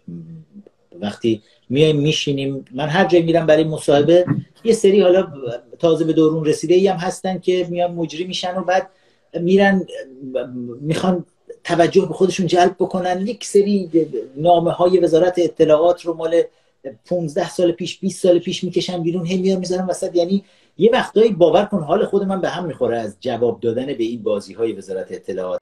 ولی حس می‌کنم که ما وظیفه داریم جوابگو باشیم. و همین بلایی که سر پرزیدنت ترامپ هم داره میاد. سر تمام کسایی که توی جریان راست بین الملل هستن این بلا سرشون میاد. چون همیشه چپ بین الملل میاد. مثلا الان برای ترامپ برای انتخابات ریاست جمهوریش اگه فا... من الان همین الان روی فاکس نیوز تلویزیون. اگر تلویزیون رو سویچ کنم روی CNN خب این همه گرفتاری الان توی آمریکا وجود داره توی دنیا وجود داره. الان این شورشی که آنتیفا چپ بین الملل توی پورتلند آمریکا رو انداخته ول نمی‌کنه. یه شهر رو الان 58 می شبیه که هی دارن توی شهر میان تمام شهر رو با آتیش می‌کشن. یه از این کمونیست های ضد آمریکایی با لوگوی داس و چکش شوروی و بحث ویروس کرونا هست. این همه داره کشتار توی آمریکا میده. بیشتر از چهار میلیون نفر تا حالا مبتلا شدن. اینم گفتم فراموش نکنیم چهار میلیون نفر در آمریکای 330 میلیون نفره مبتلا شدن. داره اعلام میشه. در ایران روحانی اعلام کرد. 25 میلیون. نفر ظرف یعنی یک سوم جمعیت رو تازه رژیم گردن گرفت که 25 میلیون نفر مبتلا شدن. حالا گفت تو سال دیگه 5 میلیون دیگه می‌گیره. آره و این و این فاجعه بزرگی که رژیم دیگه ول کرد گفت همه بگیرن دیگه که به عنوان نسل کشی ایرانیان با سیاست ایمنی گله رژیم جمهوری اسلامی خبرش رو می‌تونید توی حالا نیک نیوز هم ببینید. و اینو داشتم می‌گفتم که وسط این همه بحرانی که تو آمریکا وجود داره الان من سویچ کنم رو سی ان فکر کنید درباره چی داره صحبت می‌کنه؟ حمله به ترامپ. یک کتابی هست که برادرزاده ترامپ یک خانم عقده‌ایه که مشکلات روحی روانی سنگین هم داره برادرزاده ترامپ رفته نشسته یک کتاب نوشته دیده الان دم انتخابات می‌تونه خوب فروش کنه پول در بیاره فلان که عموی من آدم جنایتکاریه. میگن خب کجا می‌دونی؟ میگه من حدس می‌زنم فهمیدم چون باباش عقده‌ای بوده عموی خودش. باباش عقده‌ای بوده مادرش هم عقده‌ای بوده اینم اونجوری بوده اونم اونجوری بوده. CNN یک نفس 24 ساعت شبانه روز داره اینو نشون میده که پرزیدنت ترامپ وقتی کودک بود ترامپ الان هفتاد و اندی سالشه. وقتی کودک بود در دوران جنگ جهانی دوم در آن زمان ترامپ پدرش دیکتاتور بازی در می آورد و باعث شده بود یعنی چپ بین الملل میره توی گذشته های دور. وقتی نمی‌تونن چیزی الان ازش بگیرن ببینی چیزی می‌تونه پیدا کنه بیاد حمله کنه. و ما متاسفانه با این میگم دائم مواجه هستیم توی مصاحبه های فعلی خودمون هم مواجه هستیم. حالا بماند CNN با ترامپ مثلا این کارو می‌کنه ولی CNN ما هیچ وقت نشنیدیم. بیاد درباره مادر اوباما که در کتاب خاطرات خودش اوباما نوشته بود من راضی نیستم مادرم یه موقع کار فاحشگی می‌کرد. هیچ وقت ما اینو نشنیدیم رسانه های چپ بین الملل دربارش صحبت کنن. که اوباما خودش به شخصه درباره مادرش این حرفا رو می‌زد. و اینکه اوباما آیا پدر واقعیش اون کسیه که ادعا می‌کنن باراک حسین اوبامای سینیور یا فرانک مارشال دیویس پدر واقعیش بوده در اون دوره که مادرش به کارهای دیگه مشغول بوده و اینا همه official public ه. رسانه های دست راست مثل فاکس نیوز و اینها. اینا جنتلمن برخورد می‌کنن. میگن آقا ما مسائل خانوادگی کاری نداشته باشیم. بیایم اگه طرف اشتباه سیاسی الان داره مرتکب میشه این چیزها رو مثلا بیاریم بذاریم وسط فلان بکنیم. رسانه های دست چپ از کثیفترین روش های متعلق به کمپین های دیسینفورمیشن چپ مثل روس ها مثل چینی ها استفاده می‌کنن برای اینکه به هر روش ممکن بزنن تخریب بکنن. حالا با همه این حرفایی که زدم بحثم سر پاسخگویی به مردم بود. ما داریم سعی می‌کنیم به مردم پاسخگو باشیم. همونجوری که گفتی برنامه های هفتگی رو داریم می‌ذاریم توی صفحه اینستاگرام کنگره ملی ایرانیان. میایید زنده میشینید با مردم حرف می‌زنید جواب سوالهای مردم رو می‌دید. من خودم دائم دارم میارم بالا. رندوم کاملا تصادفی. مخالف و موافق رو میارم بالا. میان بالا به من فوش میدن. فلان. خود چی از من کم میشه تهش؟ میشینم حرفاشون رو میشنوم. ببینم حرف تو دل مردم چیه. به خود منم کمک می‌کنه. به ما هم تو کل کنگره ملی ایرانیان کمک می‌کنه که ما اگر داریم یه مسیری رو میریم که مردم اکثریت جامعه نمیپذیرن اون مسیر رو درست کنیم مسیرمون رو کارمون رو درست انجام بدیم. opposition ما, opposition ما درست مثل ملاها. تو الان نگاه کن سی و یکی دو سال خامنه ای رهبره. بله. یک دونه press conference ازش ندیدی. خامنه ای یک بار جلوی خبرنگارا ننشسته. هیچ کدوم از دیکتاتورها حتی یک بار جلوی خبرنگارا نمیشینن. ولی متاسفانه چهره های سرشناس opposition ما هم درست همینجوری رفتار می‌کنن. هیچ خب. وقت جلوی مردم نمیشینن و اگر قراره بشینن با مردم مثلا جواب سوالای مردم رو بدن از قبل می نویسن براشون خط می‌زنن سوال مردم رو عوض می‌کنن فلان می‌کنن بعد بدون اینکه بگن کی گفته چی بوده فلان میان میگن که این سوال پرسیده شده است شما پاس. یعنی سوالا رو با هم تمرین می‌کنن اون پشت که جواب ها آماده باشه. این ما چه جور دیکتاتوری رو برای ایران آینده بعد از براندازی رژیم ملاها داریم با این طرز رفتارمون تدارک می‌بینیم؟ نمی‌دونم نظر در این مورد چیه؟ پاسخگو بودن به مردم. از من این یکی از مهمترین اصله به نظر من. وقتی که ما صحبت از این می‌کنیم که ما در فردای ایران دنبال حکومتی هستیم که مسئولین حکومت باید جوابگو باشن به مردم حتی در قبال اشتباهاتی که می‌کنن. ببینید یک موردی رو شما اشاره کردید من همیشه معتقد بر اینم کسانی شروع به فحاشی می‌کنن که رو کار کرده به سیاسی اون فرد نمی‌تونن ایرادی بگیرن. چون نمی‌تونن ایراد بگیرن وارد زندگی خصوصیش میشن. آقا تو چرا قلیون کشیدی؟ آقا تو چرا سیگار کشیدی؟ تو چرا اون روز رفتی کنار دریا با مایو چرخیدی؟ تو چرا پشتک می‌زنی؟ این مسئله وارد میشن کسانی که نتونن رو برنامه سیاسی و کار سیاسی که داری انجام میدی ایراد بگیرن. این مال این بخش افراد. و متاسفانه کم هم نیستن. و خیلی راحت هم باید ازشون گذر کرد. ولی خب یک سری افراد هستن. بقیده من تعدادشون هم اینها هم کم نیستن. که ناآگاهن. خیلی چیزا رو نمی‌دونن. و اینجا وظیفه حالا اون کسانی که خودشون اپوزیسیون می‌دونن کسانی که خودشون رو در رأس گروه ها می‌دونن اینا باید بیان این برنامه ها رو بذارن و بیشتر حتی از مخالفین خودشون بیارن تا موافقین خودشون. موافقین من بیان به من چی بگم؟ میگم آقا شما چه کار قشنگی کردید؟ خیلی ما راضیم خیلی خوب خوب خیلی ممنون. اینو با طریق ایمیل هم به اون پیام میدن میگن. ولی مخالفا بیان واقعا با هم وارد یک بحث سیاسی بشیم. و من معتقدم کسانی که من اینو نه تنها جلوی شما میگم چون پشت گفتم. کسانی که بتونن این شجاعت داشته باشن که بیان جلوی دوربین بدون اینکه ببینید وقتی صحبت از مصاحبه می‌کنیم یه مصاحبه مطبوعاتی می‌کنیم شما می‌دید در 80 درصد موارد قبلش مصاحبه کننده با سوالا رو بفرسته برام. که آقا در چه رابطه حداقل در چه رابطه می‌خوام باهاتون صحبت کنم. ولی وقتی شما در یک برنامه زنده طرفی که اصلا نمی‌شناسی میاری بالا و شروع می‌کنه از برنامه انتقاد کردن اینجا شما جوابگوی می‌تونی باهاش بحث کنی. یا اون روشنت می‌کنه یا اگه من دارم اشتباه می‌کنم منو آگاه می‌کنه که راه ما عوض کنم. و این یکی از بهترین کارهایی که من توصیه می‌کنم بقیه آقایونم این کار رو انجام بده و خانوما این کار رو انجام بدن. ارتباط پیدا کردن با مردم نترسید. واقعا ترس نداره. با مردم هر چقدر نزدیکتر بشید محبوب خواهید بود. تا اینکه خودتون رو یک جایی ببندید. چهار تا ادمین دیگه داشته باشید. طرف یه سوال داشته باشه. اصلا شما اصلا نمی‌دونی که طرف چی داره میگه.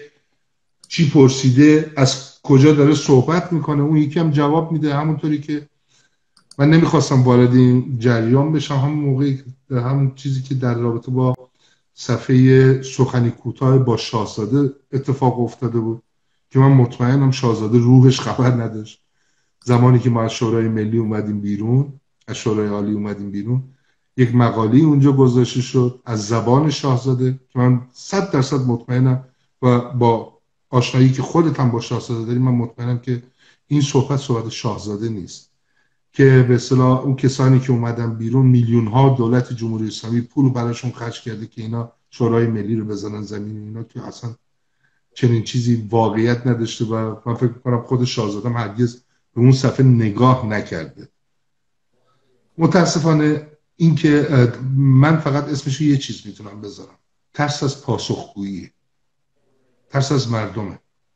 اینکه من خودم رو قایم کنم و به صورت بیانیه بخوام پیام بدم یا بخوام به صورت صوتی بدم هیچ کس نتونه با من ارتباط مستقیمی داشته باشه. نه بیاید مردم ببینن. بیاید مردم مستقیما ببینن حرفای شما رو بشنون حرفای مخالف رو که می‌زنه اونم بشنون. و, یه همچین مواقعی سوء تفاهم می‌تونه رفت بشه. آقا اگر الان یک همچین نامه ای داده شده شما در جریان نیستی موافق نیستی خب جواب بدین. دقیقا. مردم بپرسه راحت بگین تموم میشه میره. دقیقا. متاسفانه این این هستش و واقعا من می‌تونم بگم یکی از بزرگترین به اصطلاح یکی از کارهای خیلی قشنگی که داری انجام میدی همین البته ناگفته نمانه بعضی وقت من خودم وقتی با بسیجی ها شروع می‌کنی صحبت کردن بعضی از موارد من خودم بعضی خود خودم میگم که عجب طاقتی داری. چقدر چقدر تحمل ببین دیروز اتفاقا دیروز یکی از این بسیجی های فحاش اومده بود بالا بله. و چیزی که تهش نشون میدن وای میستن مثلا فوش میدن فلا وقتی کم میارن وقتی صحبت از قتل و جنایت خامنه میشه و دیگه کم میارن اون وقت میان شروع می‌کنن فحاشی کردن. و دوستا به من میگن آقا چرا می‌ذاری اینا فحاشی کنن؟ بهشون میگم که نمی‌خواید دقیقا روحیه اینا رو بشناسید. یک دوما نفرت عمومی. یکم علیه این جماعت قلقل کنه. بذاریم قلقل کنه.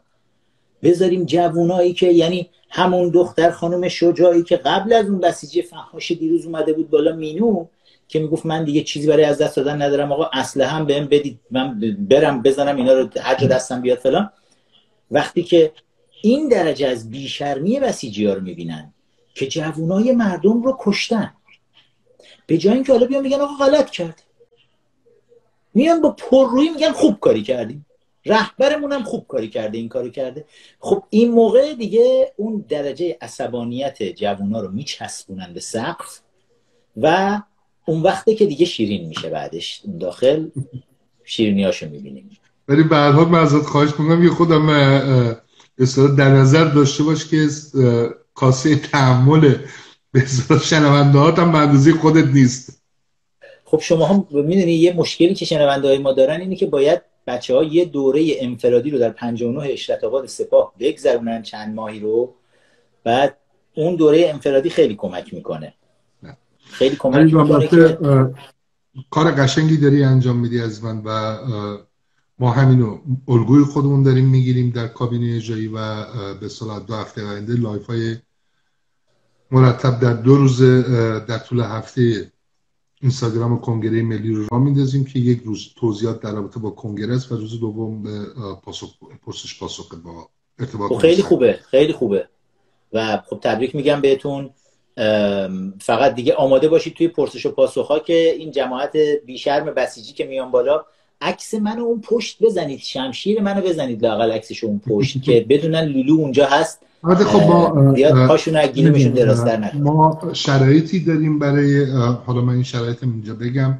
شرایطی داریم ما موضوعی که روز اولش مطرح می‌کنیم در رابطه با حالا قانون اساسی هستش. فرض بگیرید مثلا فصل اول قانون اساسی رو میایم توضیح میدیم و فلان اینا. در برنامه بعدی سوال هایی که فقط در رابطه با قانون اساسی باشه بهش پاسخگو خواهیم بود.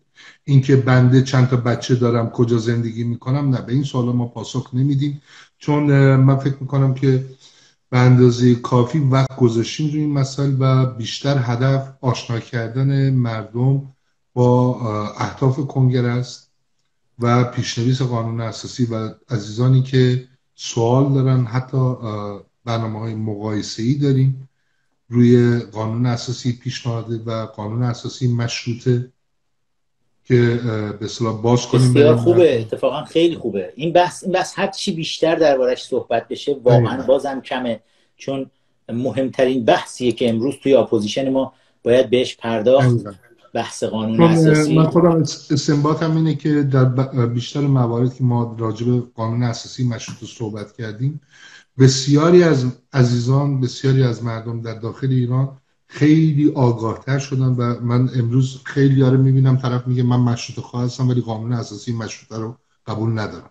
در صورتی که همچین چیزی اصلا وجود نداشت قبلا یعنی وجود نداشت. آره. و این این من فکر می‌کنم که بالا بردن سطح آگاهی مردم و اینکه واقعا ما دنبال چی هستیم خیلی کمک می‌کنه. آفرین آفرین. تبریک میگم واقعا و خسته نباشید رامین جان. کاراتون فوق العاده است. من یه احترام ویژه برای خودت برای می‌دونم چقدر سخته. یعنی از مدیریت یک مجموعه در opposition. اونم مجموعه ای که اکثریت نیروهاش نیروهای جوان پر انرژی از طیف های فکری و سیاسی متفاوت. ما خب در کنگره ملی ایرانیان هم جمهوری خواه داریم هم مشروطه خواه داریم هم چپ داریم همه چیز داریم. اینکه همه اینا رو بخوای مدیریت بکنی بسیار مشکلیه و به تبریک میگم. توی این سالها همه این سختی ها رو پشت سر گذاشتی و امیدوارم که تهش اون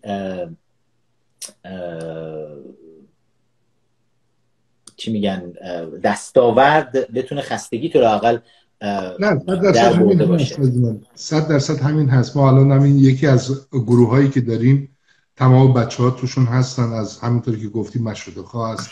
حتی طرفداران شاهزاده تون هستن و بعضی اوقات برای من تو خصوصی پیام میفرستن که آقا مثلا چرا این بحث داره؟ میگم اتفاقا باید همینجا این بحث انجام بشه. دقیقا. ما بالاخره فردا می‌خوایم بریم تو یک جامعه ای که ایشون طرفدار داره شما هم طرفدار دارید گروه دیگر طرفدار داره. ما قرار تو در اونجا بشینیم با همدیگه در کنار هم با صلح و صفا زندگی کنیم. ما نمی‌خوایم در اونجا با همدیگه شمشیر برداریم همدیگه رو بزنیم و بجنگیم. ما اینجا تمرینامون رو می‌کنیم که در فردای آزاد ایران دیگه آبدیده شده باشیم که هم کاسه صبرمون به تحملمون زیادتر شده باشه. همین که یاد بگیریم که دموکراسی فقط مال من نیست. دموکراسی مال هم است به حال اگر اجازه بدیم من از حضورت مرخص میشم ولی قبل از اون می‌خواستم که یه تشکر ویژه از تمامی بچه های کنگره ملی. بچههایی که چه در سنا هستن چه در گروه های مختلف هستن چه در کابینه اجرایی هستن واقعا ازشون تشکر داشته باشم چون فوق العاده دارن کار می‌کنن. و مهمترین چیزی که برای من خیلی ارزش داره اینه که ادبیاتی که این بچه ها دارن استفاده می‌کنن در مبارزه‌ای که دارن انجام میدن. و خوشحالم که به اصطلاح با چنین بچههایی سر کار داریم که از ادبیات خیلی خوبی برخوردارن و برخلاف خیلی از گروه ها وقتی کم میارن شروع به فحاشی نمی‌کنن. این درود, درود بهت رامین عزیز. موفق باشی. من که یکم از بچه ها با گل و قلب استقبال بکنید یعنی بدرقه بکنید رامین رو تا با رامین خدافزی بکنیم و بریم یه چند تا از این بسیجی ها شکار کنیم ببینیم که چه خبره داستان. قربان. خدا موفق باشی رامین عزیز. بله بدرود. خب نیم ساعت وقت داریم. درباره opposition و اینا حرف زدیم وقت بدیم به اونوریا.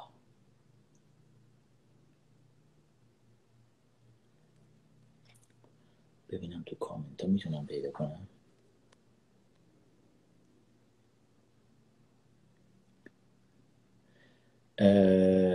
عکس نوشته 113 بیا بالا ببینم 113 بیا بالا شهامت داشته باش decline نکن. بیا.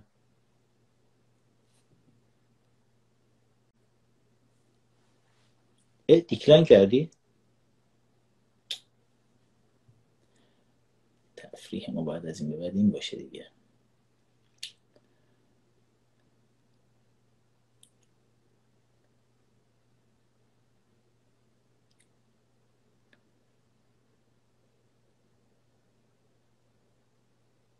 این که فوش میده آتیه چی بعدی؟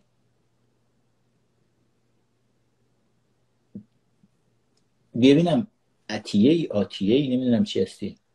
بدیعی آتیه بدیعی اتیه بدیعی یه همچین چیزی. حالا نمی‌دونم مرد زنه بی بالا دیکلاین نکن. بی بالا ببینم فوش میدی ببینم چی میگه بیا نمیخوریمت به خدا. بی بالا. بیا نترس. داری الان زنگ می‌زنی فرمانده بسیجتون اجازه بگیری؟ بیا بالا من اجازه میدم. بیا بالا. بگو فرمانده بسیجتون direct کنه این ور.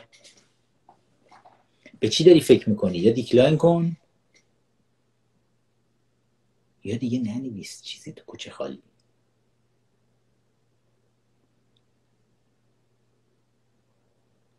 منتظری ما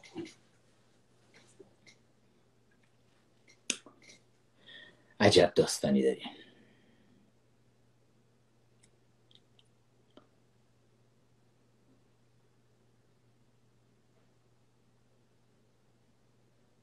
خب. میگه داداش امیر یه بار جواب منو بده دایرکت که سیدلی رهبر جهان اسلام. سر جدتون علکی چیز ننویسید بیارمتون بالا ها واقعا به این چیزایی که می نویسید اعتقاد داشته باشید که سید علی رهبر جهان اسلام نه این عکس شیر و خورشید گذاشته کلاهبرداری کردید قطعت کرد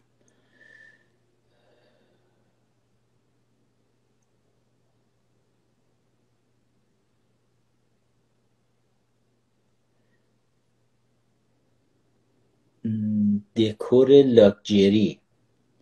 داری فوش می نویسی بالا ببینم چی میگی. دکور لاکجری. شما بسیجی دنبال دکور لاکجری هم مگه هستین؟ مگه شما قرار نبود به دین و اسلام و خدا و ساده زیستی امام خمینیتون دعوت کنین و اینا؟ چرا بسیجی شدین یه دفعه پس؟ دکور لاکچری بی بالا شهامت داشته باش. بی بالا بی بالا اون پایین سرصدای موشای فاضلا و از خودت در نیار حتی شهامت نداری بیای بالا. چنین است. وحشت نمی‌دونم از شمشیر سیاوشه از چشمان سیاوشه. ای ای ای.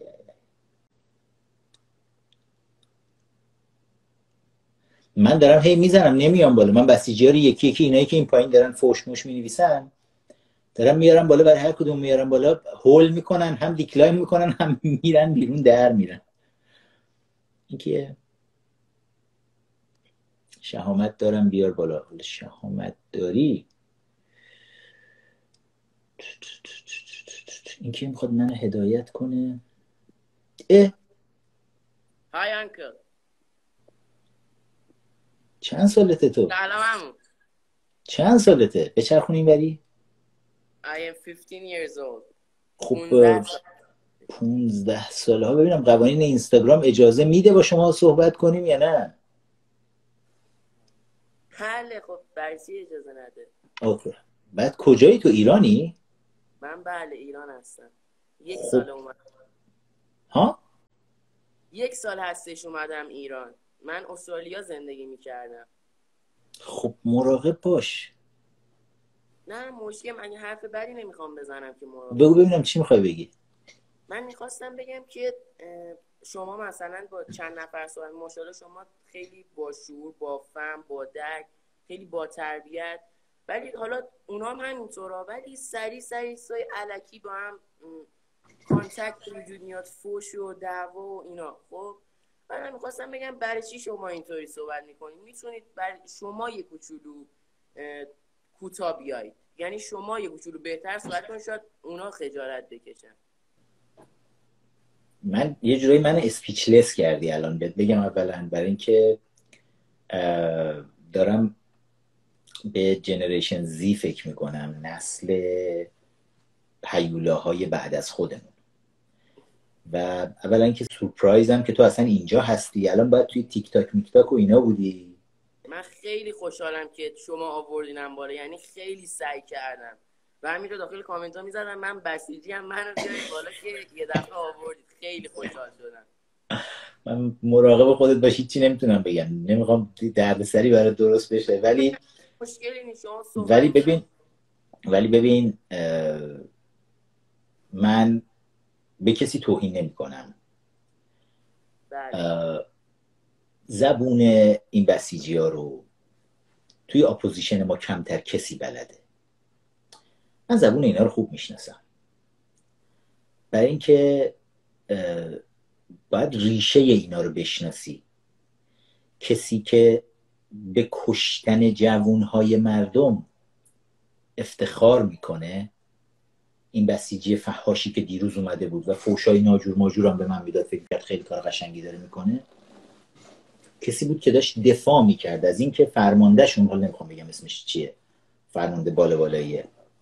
فرمان دادشون یاد نمی‌گیرن. ببین نیکیتا اسفندینانی رو شنیدی اسمشو؟ توی همین آبان 98 کشته شد. همسن تو بود. بله. 15 سالش بود. یه دختر خوشگل هنرمند گیتارشو گرفته بود دستش توی خیابون. فیلمایی که ازش وجود داره عکسایی که وجود داره داره میخنده داره گیتار می‌زنه. اول زندگی یعنی شماها تازه وارد مسیر پرپیچ و خم زندگی شدیم. بسیار مسیر پرآشوبیه براتون. و این دختر رو فکر کن یه عده مزدور استخدام می‌کنن خارجی بیان به اینا از پول نفت مردم ایران حقوق میدن. حقوق پنجاه میلیون تومنی به پول دلار امروز. پنجاه میلیون تومن فقط حقوق ماهیانه این مزدورایی که از خارج میارن که جوانای ما رو بکشن. غیر از اینکه بهشون اضافه کاری و مزایا و اینجور چیزا میدن هر جنازه ای که بذاری رو دستمون با اون تفنگ دوربین دارد مثلا تو آبان به ازای هر جنازه یه پاداش هم بهشون دادن. بعد کسایی که یه همچین جنایتی رو کردن میان با پررویی جلوی دوربین میشینن و تازه میگن خوب کاری کردیم. تو اگر باشی چه جوری می‌خواد بگو. ببخشید. چاره چیه؟ با جنگ و دعوا که هیچ چیزی درست نمیشه. میشه به نظر شما همون سوالات منو به فکر می‌بره. من معمولا برای جواب دادن سوالات زیاد فکر نمی کنم چون همیشه جواب سوالا رو دارم. اما نسل شماها نسل عجیبیه. نسل خطرناکیه. چاره توی یک کتابچه کوچولو. چاره اینجاست. برای نسل شما. یک کتابچه کوچولویی به اسم قانون اساسی که کشور ما باش بیگانه است. آشنا نیست باش. تمام کشور ایالات متحده آمریکا روی یه همچین کتابچه تو همین حالا اون بالاست تو همین اندازه بنا شده. همین اندازه است دقیقا. تمام ایالات متحده آمریکا تمام قدرت آمریکا از احترامی میاد که همه مردم برای قانون اساسیشون دارن. ما متاسفانه همچین چیز توی ایران نداریم و باید نسل شماها اتفاقا باید کاملا آشنا با این باشند که جواب همه سوالات باید در یک کتابچه کوچولو وجود داشته باشه. الان جواب سوالات رو اگر بپرسی همه منتظرن جواب سوالات رو امام زمان با اسب خودش بیاره. از بالای ابرا منتظرن وحی بشه. ها؟ نظر شما چیه؟ در چه موردی؟ که مشکل حل بشه یعنی باید باید ما ببین یه مرحله نبرد داریم. ما یک نبرد در پیش رو داریم. برای اینکه قانون رو حاکم کنیم. چون این مله هایی که الان روی کار هستن اینا راحت نمیرن کنار بی درد سر. رو نشستن روی پول مردم ایران پول نفت مردم ایران. به این راحتی ها کنار نمیرن. باید باشون بجنگیم تا برن کنار. بعد بتونیم قانون رو حاکم بکنیم. برای نه فقط خودمون برای شماها نسل های بعدی. اون روزی که پدرای بنیانگذار آمریکا نشستن قانون اساسی آمریکا رو نوشتن توی شروعش نوشتن ما این قانون را می نویسیم برای خودمان و آیندگانمان. دیویست و چهل سال پیش این چیزها رو نوشتن و تا الانشون رو فکر می‌کردن. نسل های مختلف خواهند اومد و نسل های مختلف از این کتابچه کوچک استفاده خواهند کرد. ما هم باید هر کاری که می‌کنیم یک نگاهمون هم به شماها باشه به نسل های بعدی. نسل حیوله هایی که در راهید. اما من تو کلامتون داخل هر لایوی که میرم خب به من میگن بچه نه یا نمی‌دونم اصلا خیلی زیادی می‌دونی اتفاقا. اصلا به نظر ممنونم مرسی. اصلا اینطوری نیست. من باید از هم نسلای خودم دفاع کنم دیگه. باید کمکشون کنم شاید اونا نتونم ولی من می‌تونم. یه چیزی بهت میگم قول بده بین خودمون بمونه. بله بفهم. خیلی هم مراقب خودت باش دور خود. اگرم بعدا بهت گفتن چرا با این صحبت کردی بگو نمی‌دونم. این یارو دیدم چشاش یه جوریه گفتم باش صحبت کنم نمی‌دونم کی بود. ولی ولی اصلا داخل من در مورد چیز بعدی صحبت نمی کنم اصلا هیچ حالا اینو اینو می‌خوام بهت بگم. در جریان هستن که من صحبت می‌کنم و نگو نگو. هیچ کس در جریان نیست. اینو نگو. من حالا که اینجا هستی بذار خیلی ممنون که من آورد بالا. واقعا مرسی. می‌خوام بین خودمون بمونیم که دارم بهت میگم. جواب دادن به سوالای تو برای من خیلی سخت تر از جواب دادن به سوالای گنده هاست. چون من از نسل شماها وحشت دارم. وقتی که 18 سالم بود این کتاب رو نوشتم. کتاب سبز در این چشم زمین. تنها کتابی از من که توی ایران مجوز گرفته و چاپ شده. بعد یکی از مشکلات بزرگ من اتفاقا این بود که همیشه هر وقت می‌خواستم حرف بزنم همه می‌گفتن که بچه ای و ببینم کجای این اتفاقا توی این یه جایی همین قضیه رو نوشته بودم که چقدر بهم بر می‌خورد که چرا هی باید من ثابت کنم که بچه نیستم؟ ببینم کجای اینه. بخونم یه چند دقیقه شو. گوش کن به این. هم سن و سالای تو بودم. داشتم اینو می نوشتم آروم آروم نوشته هامو جمع کردم و بعد گذاشتم برای چاپ. حالا از خودم می‌گویم. مادرم شاید خیلی چیزها می‌خواست و من چیزهایی دیگر. از همان پیلگی آرزویم فرار از تکرار بیمعنی ها بود. گریز از پیله ابریشم اطرافم می‌خواستم. از حریر و لطافت ابریشم تا زبرترین آشیانه ها بگریزم. تا اوج تا قله تا چکاد. می‌خواستم عقاب زاده شوم نه پروانه. پیله کودکیم از جنس آشیانه پرخار بلندی ها باشد نه از ابریشم و تار. می‌خواستم گرد خورشید بگردم نه شعله شم در آسمان آبی تواف خلیلی به جای آورم نه در شب تار.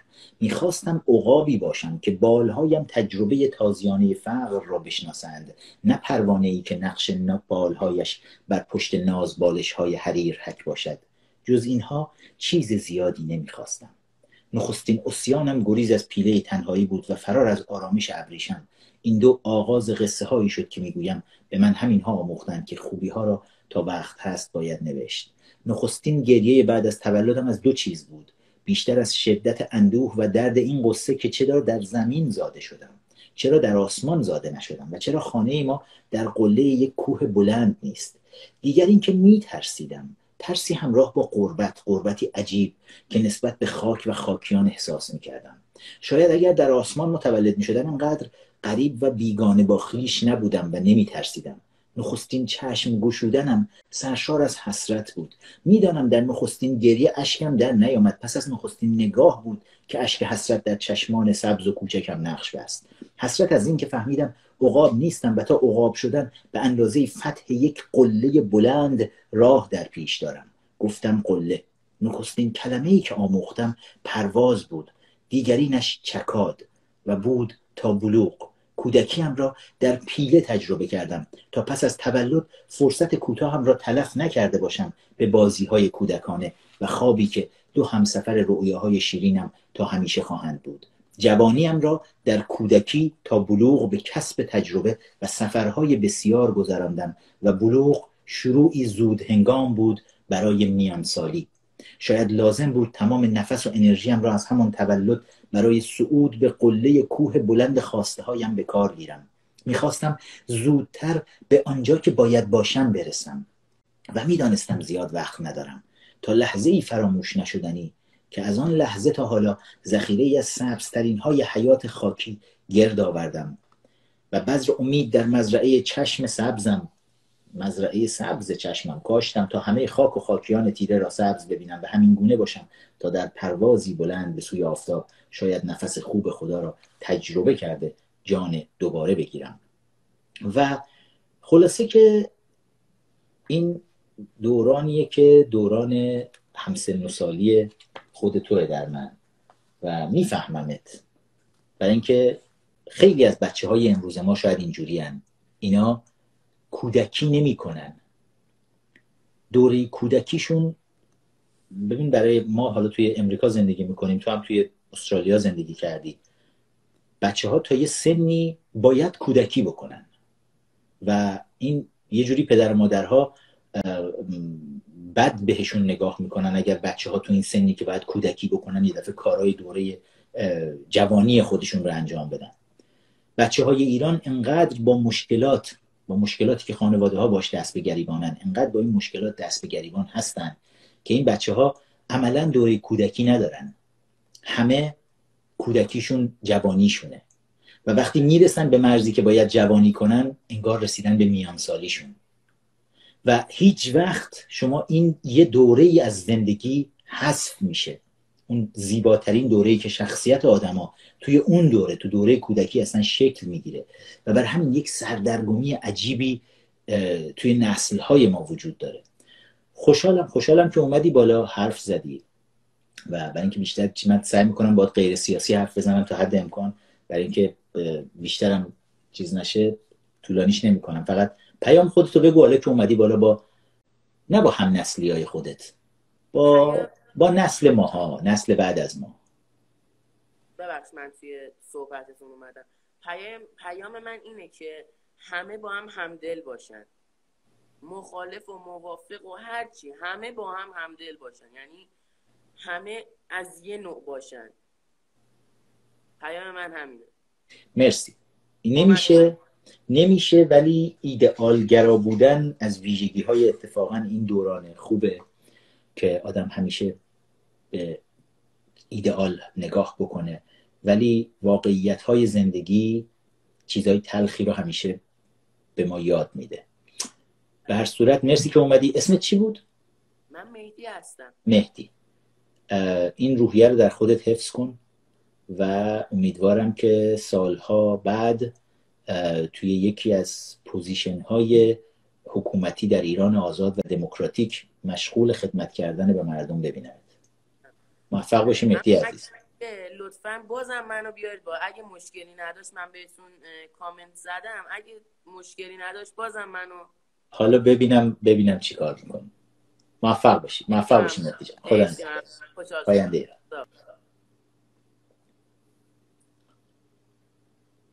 بسیجی ها خجالت بکشن خدا.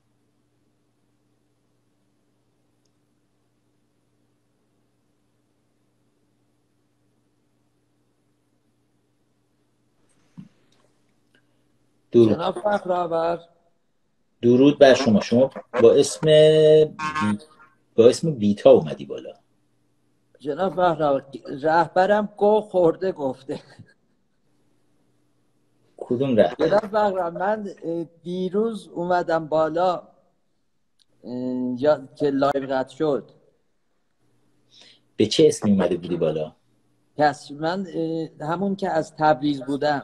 آره ولی اسم الان به اسم یه خانم بود. شما الان بله بله شد بخواد نه دیروز نمی‌دونم چی شد.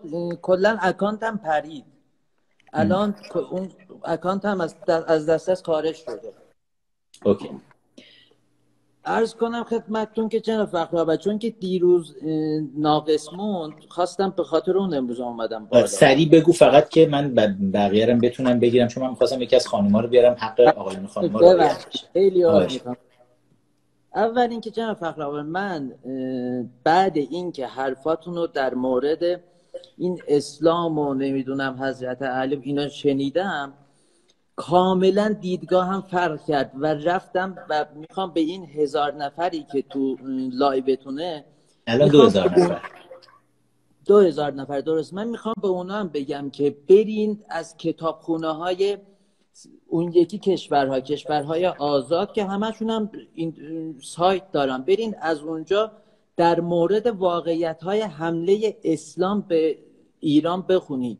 همون حرفایی که شما گفتین همونا دقیقا نوشته شده. دقیقا نوشته شده که حمله کردن به ایران ایرانمون رو چیکار کردن؟ داغ یعنی اجیر ما الان اجیر شده یا اسلامی؟ این از این. یعنی من کاملا یعنی اون جرقی که ایجاد شد تو من برم این کتاب ها رو بخونم اولش بعد اینکه حرفای شما رو گوش کردم بعد این رفتم اینا رو خوندم. ببینم قبل از اینکه این حرفا رو بشنوی به اسلام اعتقاد داشتی؟ یعنی بله بله. من یعنی غیر ممکن و همون لحظه ای که داشتی این حرفا رو از من میشنیدی چه حسی داشتی پیش خودت؟ نمی‌گفتی این مردی که سیاست رو ول کرده حالا داره به دین حمله می‌کنه. نه چون که من شما رو آقای فخرآور کاملا می‌شناسم و می‌دونم که شما حتی به خاطر منافع شخصیتون حتی یه کلمه دروغ نمیگه اینو من به خاطر یعنی بدون اغراق میگم اینو. حالا شاید حالا ولش کن. ولی همون اول که شما این حرفا رو گفتین قبل بدون اینکه من شکی کنم یا چیز درسته رفتم خودم خوندم ولی به خاطر خودم رفتم رفتم کامل بخونم. شما که نمی‌تونین تمامی تاریخ و اینجا در عرض یک ساعت دو ساعت بگین. به خاطر اون رفتم همه رو خوندم و دیدم که واقعا واقعا واقعا چه ظلمی در حق ما کردن. درود بهت. درود بهت دوست عزیز. مرسی. و دایرکت پیام فرستادی برامون؟ و اینم که بازم بازم اینم خواستم بگم که این جریان تو ایران بخ... از اینجا بهتون میگم به این چیزا گوش ندین. این مطمئن باش ما این تبلیغات رژیم اصلا بهش توجه نمی کنیم اینه که بین اقوام فاصله بندازن. وگرنه من تبلیغی عاشق وطنمم. یا شاسین ایران یا شاسین آذربایجان. قربانت موفق باشی دایرکت یه پیام بفرست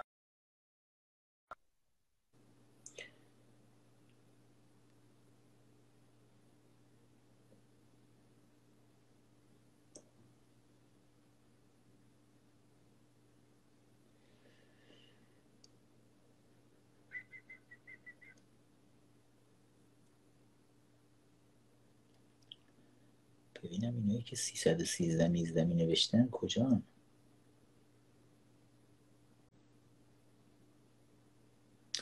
نمی‌دونم بعضیاشون رو آوردم قبلا نه آوردم خدا نمی‌دونم. بعد نگید که چرا چیز بود. بعضی از این اعضای منگل جدا شده قبلا از کنگره هم یه حرفای در میارن برای آدم. خب. سلام و درود جناب آقای فخرآور خوبی شما؟ سپاس گذارم آقا من قبلا باید صحبت کردم یا نه؟ خیلی بنده توی دایرکت براتون پیام دادم. من تا شما انگاری اصلا جواب ندادیم به بنده. ندیدم اصلا و 313 دیدم توی چیزت. جزو کدوم وریایی اون وریایی یا این وریایی 313 یک رقم مقدسه. حالا می‌دونم رقم یاران یاران امام زمانه درسته؟ درسته بله. بعد یعنی جزو بسیجی خیلی. یعنی قاسم کتلت رو میگی تا بحث ادامه بدیم یا نه؟ آره میگم مشکل ندارم. خب بگو یه دو بنده توی ایران زندگی می‌کنم. بنده توی ایران زندگی می‌کنم. یک و دوم من چیزی رو نمیگم که پس فردا بخوام برم توی گونی. OK. اما خب شما چون قیافت نشون دادی اگه به اون دلیل نمیگی OK. ولی می‌خوام بدونم آخه تو کدوم جایگاه هستی؟ من از یه طرف 313 خودت از یاران امام زمان می‌دونی. از یه طرف میگی بسیجی نیستی. خب مگه میشه بسیجی ها یا چیز نباشن طرفدار امام زمان نباشن؟ ببین شما بحث سیاسیش همه همیشه نگاه می‌کنی. خب من توی page شما سر می‌زنم. شما همیشه بحث سیاسی ها بزن به دین مربوط می‌کنی. ببینم مگه مگه دین از سیاست جداست توی ایران الان؟ دید الان با سیاست کنار همه توی حکومت. اما خب، شما اگه نظریه پردازان اسلام که چهل سال پیشو یه مقداری منتقدین و نظریه هاشون رو مطالعه می‌کردیم مثل سید محمد کاظم شریعت مدار یا سید قاسم خوی یا سید محمد حسین بروجردی که این افراد خب مخالف نظام ولایت فقیه قربانیان همین سیستم هستند همین سیستم ولایت فقیه حاکم. خب و همشون هم که دوتاشون که الان اس بردم که خب توسط همین نظام ترور شد شدن. بله. و می‌خوام بدونم که آیا این که اسلام به عنوان مذهب رسمی توی قانون اساسی ایران هست اوکی باش؟ خیر. این منطق نیست. من با منطق میرم جلو. این منطقی نیست که به قولی بشه گفت خیلی افتخار آمیز باشه. نه. این فکر نمی کنی که به, اقلیت ها حتی میشه. فکر نمی کنی که ضربه بسیار سنگینی اسلام و به ویژه شیعه اثناعشری خورد از این بابت که رسما به عنوان دین رسمی کشور اعلام شد؟ ببین دکتر علی شریعتی یه کتابی داره به نام تشیع علوی تشیع صفوی تشیع صفوی آره خوندمش کامل وقتی که خیلی کوچولو مطالعه کردی. 15 سالم شریعتی. آره. دکتر شریعتی کاملا واضح مسئله رو بیان می‌کنه. میگه که این تشیعی که اسمشو برداشت گنجون توی قانون کشور حتی توی جامعه عباس شیخ بهایی توش نظریه های خودشو انتقاد داره. شریعتی انتقاد داره به تشیع صفوی. انتقاد شدید داره انتقاد شدید داره. و حتی میگه که بگو. و حتی به نظر من با سخنانی که اصولا شریعتی گفته بود کاملا واضحه که این حکومتی که ما الان توی ایران داریم می‌بینیم تماما هیچ تفاوت با حکومت صفوی نداره. اصلا صفویه. حکومت صفوی خب همین حکومت صفوی خب خب شما شریعتی دعوت به چی می‌کرد؟ دعوت به تفکر. به تشیع علوی. خیلی خیلی شریعتی در کتاب تشیع صفوی تشیع علوی. بله تو- توی خود کتاب. بله توی کتاب بله. توی کتاب داره میگه تشیع صفوی خوب نیست. من چون من بازم بین خودمون بمونه. من یه موقع وقتی نوجوان بودم از طرفدارای پروپا قرص شریعتی بودم. بعد و بعدا دیدم که ای داده بیداد شریعتی میگه این خوب نیست. بدتر. شریعتی حرف از این می‌زد که شیعه صفوی رنگش سیاه شیعه علوی رنگش سرخه و باید خون ریخت. و و دائم از نهزت اسلامگرایی رو یعنی تمام تلاش شریعتی چون شریعتی در عین حال که اسلامگرا بود در عین حال سوسیالیست هم بود و از کسایی بود که جنبش سوسیالیست های خداپرست رو به نقطه عطف خودش رسوند. درست میگم؟ جنبشی که محمد نقشه و اینا را انداخته بودن توسط شریعتی و جلال آل احمد و اینا اومد به نقطه عطف خودش رسید که انقلابیون مارکسیست و اسلامیست رو توی دهه پنجاه خورشیدی اینا رو یک اتحادی درشون ایجاد کرد که کسایی بودن که توی خیابون می اومدن به هم میریختن به مغازه های دولتی حمله می‌کردن حتی آدم میکشتن.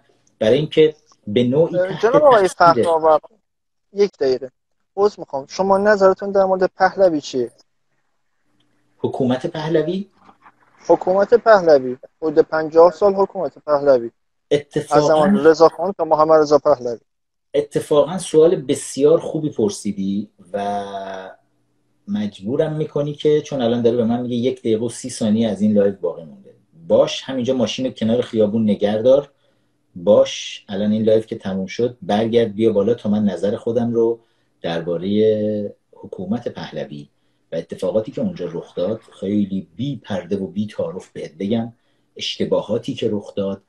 اتفاقا شاید به این دلیل که بیش از اندازه به آخوند بها داده شد. بیش از اندازه به خب مبلغین نه دیگه ما داریم می‌بینیم. تمام اون کسایی که الان سردم داره حکومت ما هستن. همه دست دستبوسان همون حوزه علمی هستن که محمد رضا پهلوی درست کرد. و انجمن حجتیه ولی محمد رضا پهلوی جلوی درست شدنشون رو سدی نذاشت. چون در دوران رضا شاه که اینا جرات نداشتن این کارا رو بکنن که. ولی در دوران محمد رضا شاه متاسفانه کلونی های آخوندا شکل گرفت و بیا بالا الان سی ثانیه دیگه داره میگه این live بسته میشه. بذار این رو من دوستایی که الان همراهمون هستید جایی نرید برگردید بیایید بالا بحث بحث خوبی اتفاقا که دربارش صحبت بکنیم با هم دیگه و شاید یک بار خیلی واضح نظر خودم هم بتونم توی این فاصله درباره حکومت پهلوی که خود من خون این خانواده رو دارم. توی رکام هست. در این مورد با هم دیگه صحبت بکنیم ببینیم اصلا داستان چی هست. برگرد بی بالا اسم چیه؟ مهنام 313 مهنام 313 اوکی. خب. درود دوباره. ببینیم ساعت چنده توی ایران؟ توی ایران به عبارتی ساعت الان هست یک و چهل دقیقه نیمه شب. و بحث جالبی بود اتفاقا که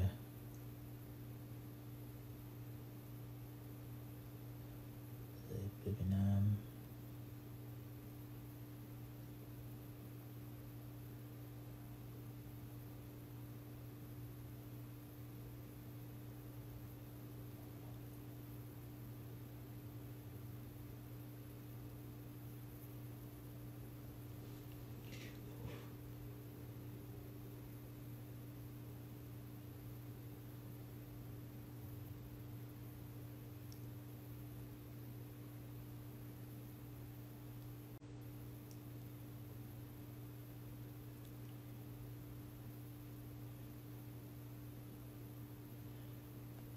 توی ریکوستا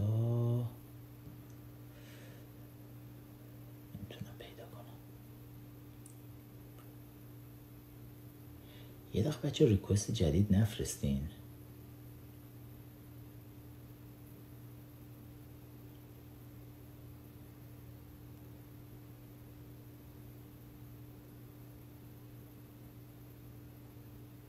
میگم نفرستین ها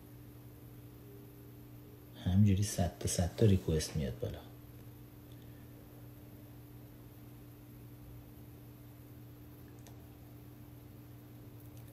نمی‌تونم پیدا کنم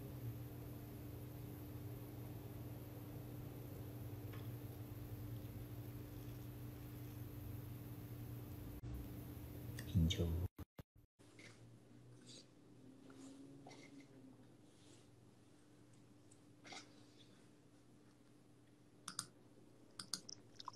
درود دوباره.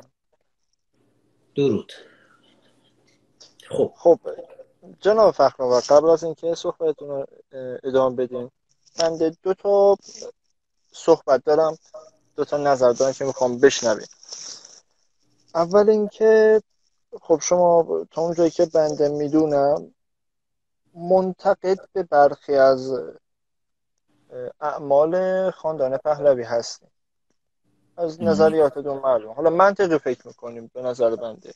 من من جز خاندان پهلوی ام می‌دونستی خب همین دارم میگم اوکی. اما و- خب از طرفی طرفدار پهلوی هستیم بیشتر تا من من رضا شاه بزرگ رو واقعا یک قهرمان ملی افسانه‌ای برای تاریخ ایران. شما این قهرمان ملیو خب اه، یه سوال اول بپرسم شما نظرتون در مورد اتفاقی که درباره کیش و خلیج فارس قرارداد 25 ساله ایران و چین انجام شد چیه؟ مثبت بود یا من؟ الان بله. اتفاقی که افتاد این اه، ایران رو رسما مستعمره چین کرده. خب یک سوالی دارم. در قرارداد سعدآباد که توسط رضا شاه یا همون رضا پالانی انجام شد با آتاتورک و اه، اگر اشتباه نکنم ظاهر شاه شاه. کشور بود یا نه؟ شاه کشور بود اون وقت بله. پس رضا شاه خب. خب. حالا خب. آخه یه چیز دیگه ای گفتی. به... خب. بگو. چون به قهرمانای ملیمون توهین نکنیم اونجوری. خب خب می‌گفتی قهرمان ملی من کاوه آهنگره بیشتر که مقابل دشخیمان و زهاکیان ایستاد تا شخصی که نیمی از رشته کوه آرارات مقداری از اروند رو و دو روستای مرزی و به افغانستان بخشید تا قرارداد سعدآباد را نه یه چیزی رو یه چیزی رو بهت بگم. فراموش نکنیم رضا شاه رضا شاه همون کسیه که رضا شاه همون کسیه که در آخرین روزی که در ایران به عنوان پادشاه حضور داره شاید یکی از بزرگترین خدمتهاش رو به ایران می‌کنه. وقتی که ارتش بریتانیا و ارتش سرخ شوروی میان و ایران رو اشغال می‌کنن در بحبوحه جنگ جهانی دوم رضا شاه اه، تلگرامی رو می‌نویسه به رئیس جمهور آمریکا. خودش رو کوچیک تلگراف. چی گفتم؟ می‌خوام گفتین تلگرام اوکی. تلگرافی رو میفرسته و توی اون برمیگرده میگه که از واژه I'm begging you استفاده می‌کنه. من التماس می‌کنم به شما. شما که ادعا دارید شما آمریکایی ها که ادعا دارید همه دنیا انسانیت براتون مهمه و مردم ایران امروز به کمک شما احتیاج دارن. لطفاً کمک کنید ایران توسط امپراتوری های شوروی و بریتانیا تجزیه نشه. و رئیس جمهور وقت آمریکا فرانکلین دلانا روزولت این قول رو میده به پادشاه ایران رضا شاه که من شاید الان برای پادشاهی تو کاری نتونم بکنم. چون اونا وادار کرده بودن میان و وادارش می‌کنن که به تبعید بره رضا شاه. میگه من برای پادشاهی شاید کاری نتونم بکنم ولی بهت قول میدم که اجازه ندم این دو امپراتوری شیطانی بخوان ایران رو تجزیه بکنن و این شاید یکی از بزرگترین خدمت های رضا شاه به ایران بود که روزولت وقتی, وقتی به تهران میاد میونه به خاطر قولی که پادشاه ایران داده بود وادار می‌کنه سران شوروی و بریتانیا رو. استالین و چرچیل. چرچیل رو وادار می‌کنه. که سندی رو امضا بکنن که بلافاصله بعد از پایان جنگ جهانی دوم ارتشاشون رو به طور کامل از ایران خارج خواهند کرد. و اینا همه به خاطر درخواستی بود که پادشاه ایران کرد. ببین وقتی که سرحدات مرزی داشت مشخص می‌شد توی یک همچین شرایطی یک سری عهدنامه های بین المللی داره نوشته میشه که آقا شما به جای این بخش اون یکی بخش اگر بردارید توی این سرحدات مرزی هم مرزداری برای شما راحت تر خواهد بود. هم بخش می‌خوام ببخشید. یعنی این نبود که ما در حال که ما در حال دادن قراردادی داشتیم. ما در حال حاضر یه همچین قراردادی داشتیم. بنده با چین نظرم به چین نیست و نظرم جبهه غیر متحده که. کوبا را انداخت فیدل کاسترول و قذافی توشون بود. اگر اشتباه نکنم یه دوره هم همه اه، چپ البته کاسترو را ننداخت. حزب کمونیست حزب کمونیست شوروی را انداخته بود برای اینکه می‌خواست یک بلوکی رو سرکردش علیه کاسترو. سر- فیدل کاسترو به عنوان یکی از نمادهای این جریان اون وسط حضور داشت. آره. خب بله. شما آیا منظورتون شبیه به یه همچین چیزی بود؟ خب الان ما می‌بینیم که در مقابل امپریالیسم تا حد بسیار زیادی و خیلی قدرتمندانه کشورهای جبهه غیر متحد که به طور رسمی عضو این جبهه هستن این گروه هستن ببینم به هم کمک میرسونن.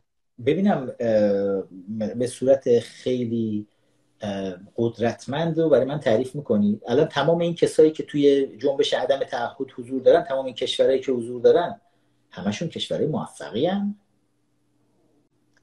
بعض وقتا چند موفق میگن؟ غیر بعض وقتا غیرت سرزمینی بیشتر از تمامشون ورشکستن برای اینکه اصلا به غیرت سرزمینی اعتقاد ندارن. اینا بخشی از انترناسیونال جنبش انترناسیونال هستن جنبش های بین المللی چپ که چوب انترناسیونال پنجمش به ما هم خورد توی ایرانمون و اینا بخشی از جنبشی هستن. که شبکه چپ بین الملل رو با ایدئولوژی مارکسیستی سوسیالیستی را انداختن و اهدافشون هر چیزی که هست به نفع کشورهایی که عضوشون بودن هیچ وقت نبوده.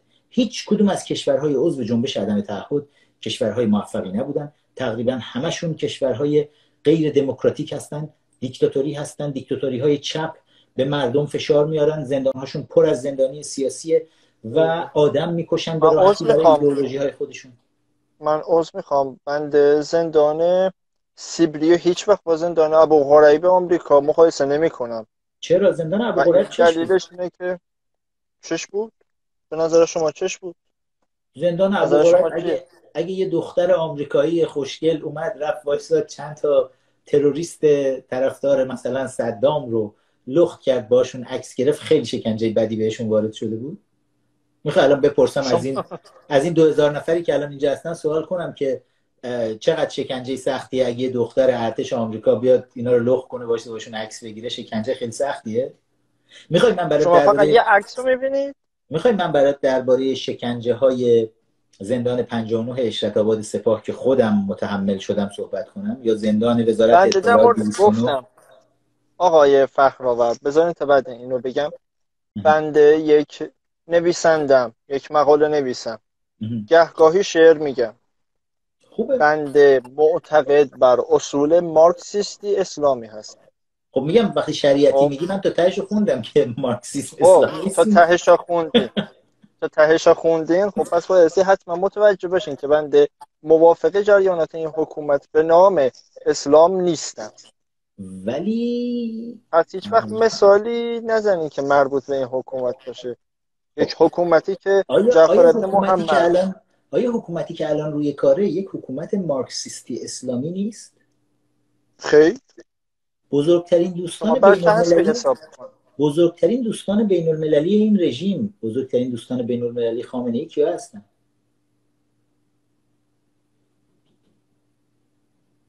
فکر نداره. چین و روسیه درسته؟ کره شمالی هم البته هست. کره شمالی عددی نیست. این وسط اون خودش پاپت عروسک خیمه شبازی روسا و چینی است ولی خب بزرگترین این عروسک عروسک ش- خیمه شب بازی چین و روسیه که میگین اونجایی که بنده می‌دونم یک تراکتور نداره که زمین های خودش رو شخم بزنه. اما اونقدر بمب اتم و اه، هس... نداره به قول میشه گفت موشک های هسته ای داره که می‌تونه کل دنیا رو شخم نه بزنه. نداره نداره هیچی نداره.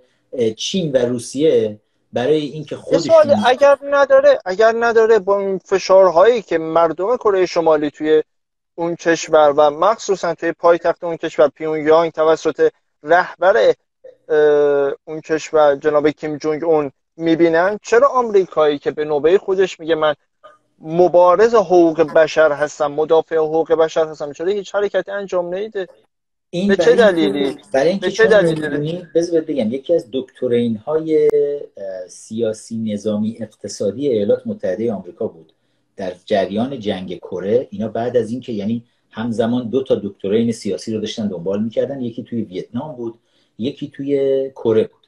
صد داستان کره شوروی و چین پشت کره شمالی ایستادن. خب کره یک کشور بود دیگه بعد از جنگ جهانی دوم بله شوروی و چین می‌خواستن کره رو مال خودشون بکنن. از این ور متحدین ژاپن در مقابلشون بود. برای همین نمی‌تونستن آمریکا آمریکا ژاپن اینا به عنوان حالا مت... ژاپن متحد آمریکا دیگه بعد از جنگ شده بود دیگه بعد از بمب‌های اتمی که آمریکا روش انداخت بله. تسلیم شده اینا. و عملا ژاپن و آمریکا ایستادن در طرف دیگه در مقابل شوروی و چین. شوروی و چین بیاد یک جنگی در کره دنگ در گرفت جنگ بسیار خونین که در نهایت تصمیم گرفتن آتش بس اعلام بکنن. شمال رو اسمشو گذاشتن کره شمالی شمال کشور رو. یک کشور کشیده درازی هم هست. شمال شد کره شمالی جنوب شد جنوب شد کره جنوبی. و دکترین آمریکایی اینجا این بود. گفتن ما بیایم در کره جنوبی در بخش جنوبی کشور کره که اسم کره جنوبی امروز داره. بیایم سرمایه گذاری بکنیم و سیستم کپیتالیسم رو نظام سرمایهداری رو اونجا به پا بکنیم تا نمونه ای از موفقیت نظام سرمایهداری رو در یک کشوری که در جریان جنگ نابود شده. یعنی کره اصلا محلی از اعراب نداشت. نابود شده بود توی جنگ. به طور کامل با خاک یکسان شده بود. و آمریکایی‌ها گفتن ما بیایم توی کره جنوبی سرمایه گذاری بکنیم. همزمان که کره شمالی رو چین و روسیه با ایدئولوژی احمقانه مارکسیستی پر می‌کنن ما کره جنوبی رو با سیاست موفق سیستم سرمایهداری کپیتالیسم بسازیم. و این شد که کره جنوبی شد یکی از چهار ببر بزرگ اقتصادی آسیا و بعد اومد توی سطح دنیا. حرفهای بسیاری برای گفتن داره الان و اقتصاد مردمش چین چطور؟ اقتصاد چین چطور؟ اقتصاد چین چی؟ حالا بذار اینو ببندم بعد برسم به اقتصاد چین. و کره شمالی کارشون به جایی رسید با اقتصاد با سیستم سیاسی اقتصادی مارکسیستی که مردم از گرسنگی علف می‌خورن و یک حزب کمونیستی حاکم شده که عروسک خیمه شبازی دست روسها و چینی هاست. بمب اتم هم نداره. چینی ها و روس ها وقتی بخوان سر به سر آمریکا و غرب بذارن یه دونه از این کلاهک های کوچولی خودشونو چون اینا دارن چین و روسیه دارن. اینا میدن دست کره میگن این اسباب بازی رو منفجر کن اونم ترقه رو منفجر می‌کنه. برای اینکه چین و روسیه نمی‌خوان مستقیما بیان با دنیای غرب در بیفتن از این نادان رهبر کره شمالی هم پدرش هم پدر بزرگش نسلا در دست نادالهای نادانهای ویلسون. ارتکای خیمه شبازی. از اینا سوء استفاده می‌کنن. حالا و اتفاقا این دکترین کره برای آمریکایی ها بسیار جواب داد. چون تونستن بگن که آقا یک کشور به اسم کره. یک ملت یک فرهنگ. همه چیز یکی بود.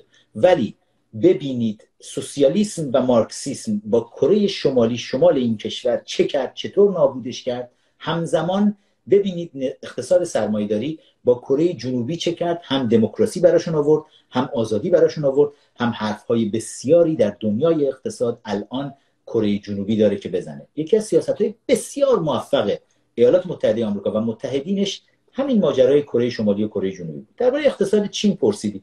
دقیقا منظور چی بود از اقتصاد یک چین؟ دقیقه ببخشید. یک دقیقه. جناب آقای فخر و عذر می‌خوام. من شارژ موبایلم رسیده به ده درصد. من احتمال میدم که وسط صحبتتون قطع بشه. ده درصد خیلی یا گوشی چیه؟ ما می‌خوایم صحبت کنیم سامسونگ. سامسونگ سامسونگ کره ایه نباید زیاد بد باشه. حالا بگو ببینیم. حالا یه وقت وسطش قطع شده اینا دیگه. عذر. می‌خوام. تا هر زمانی که از من صحبت حالا من قبل از اینکه به- به- به ادامه بدی یه سوال ازت بپرسم. راجع به آبان 98 نظرت چیه؟ راستشو بگم یا دروغشو؟ راستشو بگو. من میترسم راستش واسه بعضی یه مقداری بی احترامی تلقی بشه. حالا ب- ب- نداره. آدم باید داشته باشه وقتی وارد بحث میشه واقعیت ها رو بگه دیگه. تو به 313 نظر من- زدی از سربازان امام زمان می‌خوای باشی. تناب بندازین از چای جمکران بیارینش بیرون. با شجاعانه بگو. جناب آقای فخرآور آبان 98 و دی 96 و تمام این سلسله اعتراضات اخیر. نه تنها هیچ فایده ای نداره بلکه تنها فقط تبدیل شده به یک کشدار دست جمعی. و چرا دلیلش چیه؟ دلیلش اینه.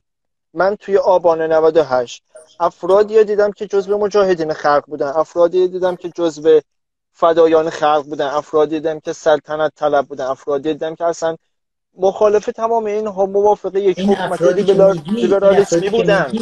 پرچم سازمان مجاهدین خلق دستشون گرفته بودن یا عکس مسعود مریم رجبی دستشون بود؟ تو دیدی فهمیدی اینا چیزن یا تو چشاشون خوندی یا زدی؟ شعارها شعارها کاملا؟ واضحه. شعارها کاملا واضح بازجویی یا مگه من شکنجه نه آخه دارم میگم کردم فقط بازجوها می‌تونن بفهمن مثلا کی تو بازجویی گفته باشه من مال موجود وگرنه همه یه آدمای معمولی هم تو خیابون. خب یه عده آدمای معمولی ما افرادی خب بالاخره داریم می‌بینیم که یک نفر میگه من طرفدار اصلاح طلبم اون یکی میگه من طرفدار یعنی تو فکر می‌کنی مهداد فکر می‌کنی مهداد معینفر من که نماد آبان 98 رو مهداد معینفر می‌دونم. جوان رشید خوشتیپ که کار داره می‌کنه برای خانوادهش خانواده بسیار جناب فخرآور یه دقیقه. صبر کن یه دقیقه صبر کن. مهداد بذارین تا اینطوری سازمان صحبت مجاهدین بذارین تا خلق اینطوری بود. صحبت بگم. صبر کنین. بت- بذارین تا اینطوری صحبت بگم. فکر کنین اصلا طرفدار همهشون طرفدار پهلوی باشن خوب؟ طرفدار پهلوی مثال داره. می‌زنن آخه ببین طرفدار مثال داره و می‌زنه طرفدار پهلوی چیزیه که می‌زنه خامنه ای گفت. خامنه ای دروغ گفت. این بچه ها آقا بچه ها دنبال می‌کنیم طرفدار هیچ آزادی نهادی دموکراسی نیستن. خوبه؟ آقای شما مثال بنده به رو دنبال یک قانون اساسی شما بند اصلا نمی‌ذارین مثال بنده تموم بشه. بگو یک دقیقه صبر کنید. بنده نمی‌خوام بی احترام بشه. خب مطمئنا شما سنتون نه اگه اگه بی احترامی کرده باشی مطمئن باش من بحث اصلا باید ادامه نمی‌دادم. چون خوشم اومد می‌بینم با وجود اینکه تفکر اسلامی منحرف داری ولی منطقی حرف می‌زنی خوشم اومد. گفتم حالا صحبت کنیم. من شما یاران امام. زمان رو آدمای منحرف می‌دونم که در یک تصور واهی هستیم که یه آدم 1300 سالشه با اسبش هم تو چای جمکران افتاده. شما می‌خوایم برید تناب بندازیم بیارینش بیرون بشین یارش. این خیلی مشکل. و تازه 313 مارکسیست هم هستیم. 313 یک علامت مقدس می‌دونم. یک بار گفتم. خب؟ خود 13 یک رقم مقدس در ارتودکس هاست. از طرف دیگه- خمینی هم بعد از 13 سال نمی‌دونم حالا ولش کن. 13 خمینی آبان غلط لا اله الا الله. خب، رو باز یه کاری بکن امروز ببینم می‌تونم امشب بندازم زندان. خب بگو. بند زندانم رفتم خیالتون راحت باشه. جناب آقای فخرآور ببینیم ما می‌گیریم. اصلا کلا مخالف تمامی نهادها. اصلا اومدن برای آزادی خوبه؟ اومدن اصلا برای آقا بچه هایی که اومدن توی خیابون هزاران نفرشون تو اصلا 98 کشته شدن. اصلا اصلا اصلا مربوط به این نیست که در مورد نهادی باشه. من از تو ما یه می‌گیریم سوال پرسیدم. گفتم. نظرت درباره این خب، کشتار تو. داری میگی این خب، بچه بله. ها عضو یه سال اصلا حتی گیرم. بر فرض محال آقا بذار فرض آقا محال بنده دارم میگم اصلا بر... که- اصلا این مسئله رو بذاریم کنار نه خوبه؟ نمی‌خوام بذارم که برای من مهمه نه برای من مهمه خب تویی که, برای من تویی. که از. جریان مارکسیسم اسلامی جریان چپ بین الملل حمایت می‌کنی جریانی که امروز آخوندهای حاکم بر ایران مارکسیست های مسلمان هستن و می‌خوام بدونم در این مورد که هزاران جوان کشور به دستور کسی که خودش رو رهبر مسلمین جهان می‌دونه و جاسوس شوروی ها بوده در مسکو تعلیم دیده این آدم. در مرکز پرورش جاسوس پاتریس لومونبا در مسکو ت- توسط سازمان امنیت شوروی تعلیم دیده سید علی خامنه ای و حالا سید علی خامنه ای میاد در آبان 98 حکم کشتار و قتل عام جوانهای کشور رو صادر. می‌کنه. می‌خوام بدونم یک دقیقه. تو داری توجیه می‌کنی؟ تو داری میگی چون این جوانا. مال مجاهدین بودن نه، مال. نمی‌دونم سلطنت طلبه بودن. حق داشتن آقای فخرآور آقای فخرآور تمام جوانایی که توی این مرز و بوم کشته شدن توسط این جلادهای دشخیم زحاکیان صفت ها خواهر و برادران بنده بودن. خب اینجوری بگو این این بنده درسته نیست. این درسته. نه، خب، به خب، بچه ها یک دقیقه صبر نبند. علکی. یک دقیقه بله یک دقیقه صبر کنید. مردمی که میریزن توی خیابون و اعتراض می‌کنن خب؟ هدفشون یکی نیست درسته؟ نباید باشه. خب وقتی که میان توی خیابون فقط و فقط به فکر چیه؟ شما به بنده بگی. تفکرشون چیه؟ چ- کدوم یکی از اعتراضات چون برای هر اعتراضی یک یک اعتراض دلیل 98. ویژه‌ای وجود داره. اعتراض اعتراض 98 آبان 98 آبان 98 جرقه اعتراضات. مردم خشمگین بودن از رفتارهای رژیم از دزدیهای رژیم از آدمکشیهای رژیم. ولی یه دفعه دیدن رژیم تصمیم گرفت قیمت بنزین رو سه برابر بکنه مردم به اندازه کافی مشکلات مالی داره بهشون همین. فشار میاره. جوونا اومدن بیرون تو. صد تو 134 شهر کشور. همزمان. بله. بدون کسی بهشون دستور بده. اومدن بیرون گفتن آقا چی می‌خواید از جونمون؟ آخوندا کم خوردید خودتون آقازاده هاتون از ما. چی بله جناب آقای فخرآور حرفتون درسته. تو این live اگر امکان داره یه مقداری در مورد این حیوانات صحبت نشه بهتره. عذر می‌خوام. دیر دیگه دیگه میگیرنت. حالا حرفاتو بزن. به نظر بنده زمانی یک اعتراض یک جنبش اعتراضی به نتیجه می‌تونه برسه که یک رهبری داشته باشه. اون رهبر در کنار مردم باشه. ببین شاید سید روح الله خمینی خب انسان خیلی متشنج بی‌بخار احمق جاهل بی‌منطق گرفتی. باشه. دیگه اعدامو خب. گرفتی. تو. اما اما بنده اینو بگم بزرگترین احترامی که بنده به این شخص قائلم فقط اینه که از سال 48 تا سال 57 شروع که به مبارزه. حالا بماند. 42 یه من چیزایی بله؟ 42 از سال 48 قیامت و آغاز شد. 42 15 خرداد از 42 سال 42 بنده می‌گیره. از سال 42 ما این شخص مردم رو رهبری می‌کرد. نمی‌کرد. مجاهدین. از یه طرف حزب. توده از یه طرف نه نه خلق. ایران از نه، طرف. دیگه گفتی اسم نه، نه، نه،. به گفتی چی صدات کنم؟ مح... محنام مهنام بعد محنام محنام گرامی. این بخشی از دروغ و تبلیغات رژیمه که خمینی از 42 داشت رهبری می‌کرد آقا این تبلیغات رژیم درسته؟ بذار من نه بذار من آیا- تاریخ رو بهت بگم. خب خب خمینی در سال کن. 42 اعتراضش چی بود؟ می‌دونی؟ سخنرانی سال 42 15 خرداد 42 خمینی در حوزه علمیه قم می‌دونی به چی اعتراض کرده بود خمینی؟ که به خاطر اون دستگیر شد و فلان و اینا؟ نه متاسفانه عذر خمینی به این اعتراض کرده بود که چرا در لایحه انجمنهای ایالتی و ولایتی به زنها حق رأی داده شاه. به حق رأی خانومها اعتراض کرده بود و گفته بود طبق قوانین اسلام زنها انسان نیستند. آنطور که صدر المتعلهین صدرالدین شیرازی ملا صدرا اومده تو کتاب اسفار اربعه نوشته برگرفته از تعالیم امام علی در نهج البلاغه که سید رزی جمع آوری کرده خطبه های نماز جمعه رو خمینی گفته بود که زنها حیواناتی هستند که پوست انسان برشون کشیده شده برای اینکه مردها به آرامش برسن. و برای چی به این حیوانات شاه اومده به زنها؟ نیمی از جامعه به مادران ما. آره همین بنده میگم که ولایت فقیه هیچ جایگاهی در اسلام نداره. چون این شخصی که خودشو ولی فقیه معرفی می‌کنه جناب آقای منتظری 700 صفحه کتاب ولایت فقیه براش می‌نویسه.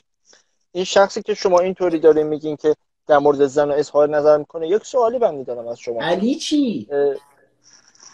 جانم؟ علی رو چی کار کنیم؟ علی کیه؟ امام علی در نهج البلاغه امام علی نظر درباره زنها همینه.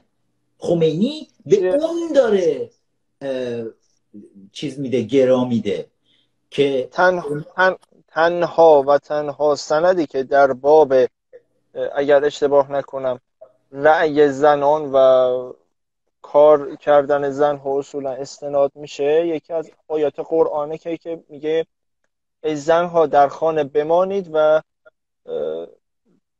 اجازه دهید تا مردانتان به بیرون داستان بروم. داستانهای قرآن رو من خب. کنار می‌ذارم چون نمی‌خوام به بحث شیعه و سنی بپردازم و به بحث محکمات و متشابهات بپردازم من نمی‌خوام درباره قرآن اصلا صحبت بکنیم خب. من چرا چرا به شیعه اصناعشری می‌پردازم چرا به این فرقه اسلامی حمله می‌کنم اینو بهت بگم چون که این فرقه خودش رو به عنوان مذهب رسمی کشور حاکم کرده بر کشور و خامنه ای به اسم شیعه اصناعشری سوار گرده مردم شده و تا وقتی خب. که شیعه خب. اصناعشری به عنوان مذهب رسمی مذهب حاکم کشوره تا اون روز من اجازه دارم بهش حمله کنم چون دیگه رو صندلی سیاسی نشسته دعوت به حمله نه. انتقاد انتقاد برای که, من روزی. که شیعه اصناعشری دیگه مذهب رسمی کشور نباشه و دیگه آخوندا به اسم شیعه اصناعشری نیان که مردم رو بدوشن تجاوز خب، کنن به مردم شما با همین صحبت از اون معتقد من برای شیعه اصناعشری هم دیگه خب، احترام قائل خب. خواهم بود. میگم شما تو همین صحبت- شما همین الان صحبت که انجام دادین گفتین که به اسم شیعه اصناعشری خب یعنی کاملا واضحه که پشت جبهه شیعه اصناعشری قایم شده و سنگر گرفته و هر غلطی که می‌خواد انجام میده درسته آره و, و خود شیعه اصناعشری سابجکت متر زیادی داره برای اینکه بهش حمله بشه خب. انتقاد بشه خب.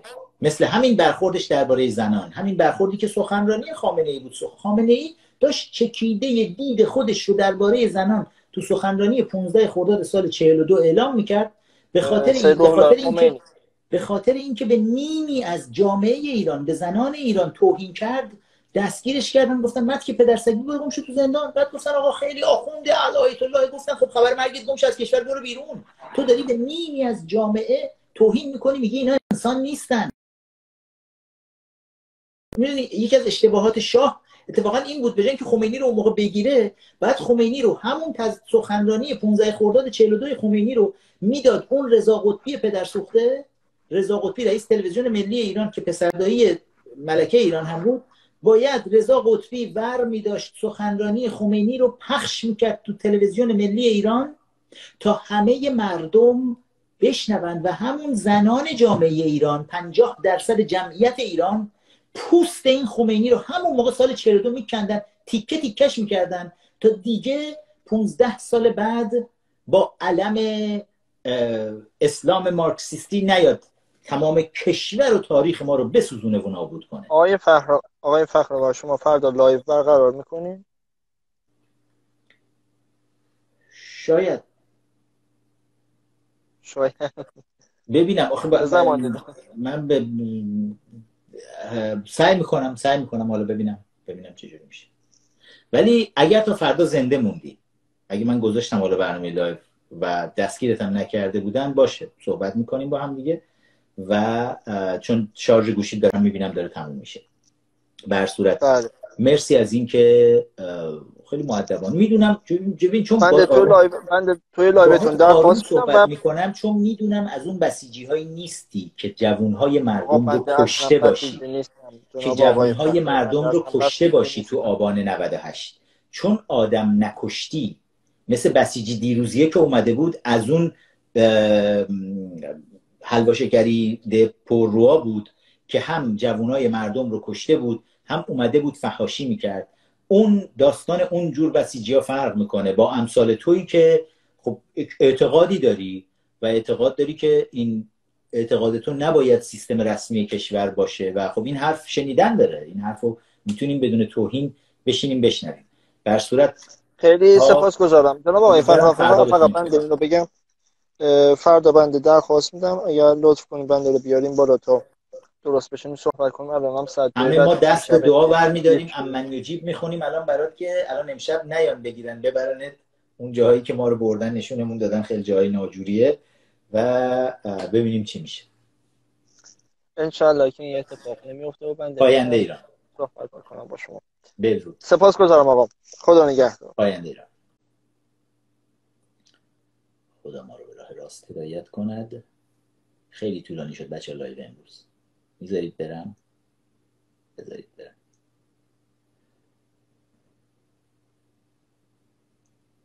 ارزشی مرگ بر ضد ولایت فقیه. که دروغ میگه ها.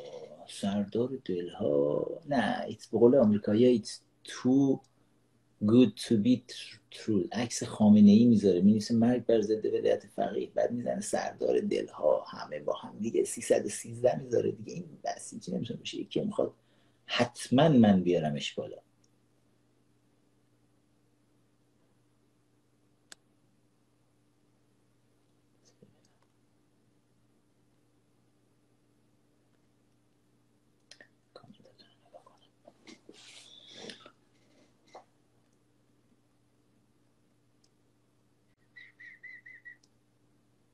بعضی هم دیگه دارن می نویسن 313 توی چیزاشون. بچه خستم اذیت نکنه نرو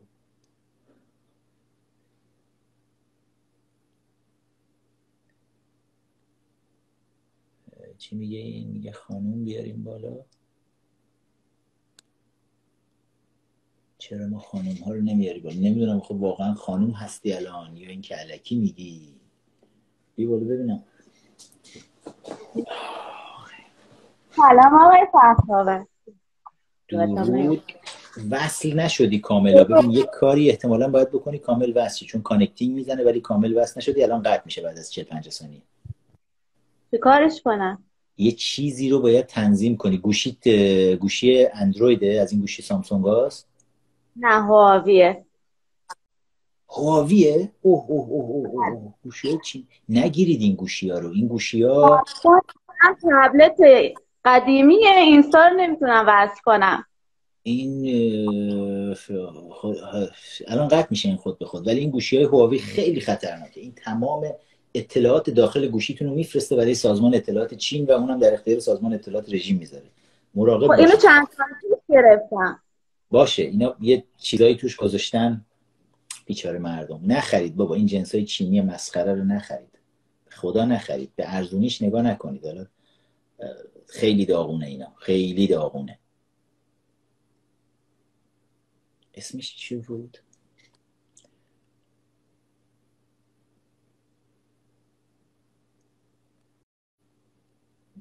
یه یه بار دیگه بیا بالا به اسم زیزی هستی؟ ولی تو این چند ثانیه میگم پنجاه ثانیه فکر کنم بیشتر به وقت نمیده. الان چون کامل وصل نشده حرفتو بزن تو این پنجاه ثانیه حالا تو ببینم چجوری می‌تونی مشکل گوشی رو آقای فخرآور جانم بگو. خیلی دوست دارم اینو بدونین. من هر شب هر زمان لایو گذاشتین تو لایوتون بودم. و هر بسیجی هر کسی که این بالا هست بدونه ما خانوم ها الان خیلی قوی تر از آقایون شدیم. یا از هیچی نمیترسیم. اینو بدونن درود بهت درود بهت. دل به دل راه داره و بدون که آقایون فهمیده و آزادیخواه امروز ایران هم کنار خانوم های شجاع و آزادیخواه ایستادن همه با هم ایستادیم تا کشورمون رو دوباره بسازیم و برابر کنار همدیگه بتونیم زندگی کنیم. خیلی کوتاه فکر کنم وقت داشته باشی پیامتو بگی داره قطع میشه. بیچاره. اه، یه بار دیگه بذارید من بذارم که پیام رو بگه و بیا یه بار دیگه زیستی زیزی. چون می‌دونم پنجاه ثانیه پنجاه ثانیه قطع میشه. این فرصت رو بهت بدم که حرف پایانی تن بزنی. کجا رفت؟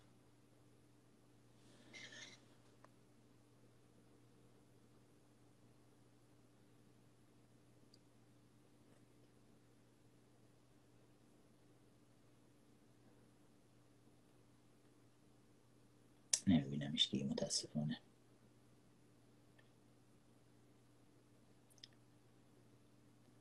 حالا دیگه ریکوست های من پر شده از همه چیزایی که اکانت هایی که خامنه ای توی چیزه پروفایلشونه عکس خامنه ای. الکی می‌دونم الکی هم گذاشتید برای اینکه بیارمتون بالا. درود امیر جان. درود خوبی؟ حالا شما خوبه؟ خوب هستی. به کنگره ملی ایرانیان خوش آمدی سلامت باشی تازه تازه تازه تازه تازه اومدی تو تنور کنگره. این هفته فکر کنم پیروز بود عضو شدی درسته؟ آره. بله. وقت که نبود که. نه نه. خیلی عالی خیلی عالی. واقعا تشکر. اولا که سپاسگزاری رو قدردانی می‌کنم از همه بچه های کنگره. گلبارون کردن. خیلی عالی بود. و اینکه می‌خواستم ازت قدردانی بکنم به خاطر تمام زحماتی که می‌کشی. من یه چیزی رو می‌خواستم بگم یه نکته. من چون الان تمام وقتم رو گذاشتم دارم کتاب رفیق آیت الله رو می‌خونم. و از یه جایی دارم از خانومم کمک می‌گیرم به خاطر اینکه خانومم آمریکاییه.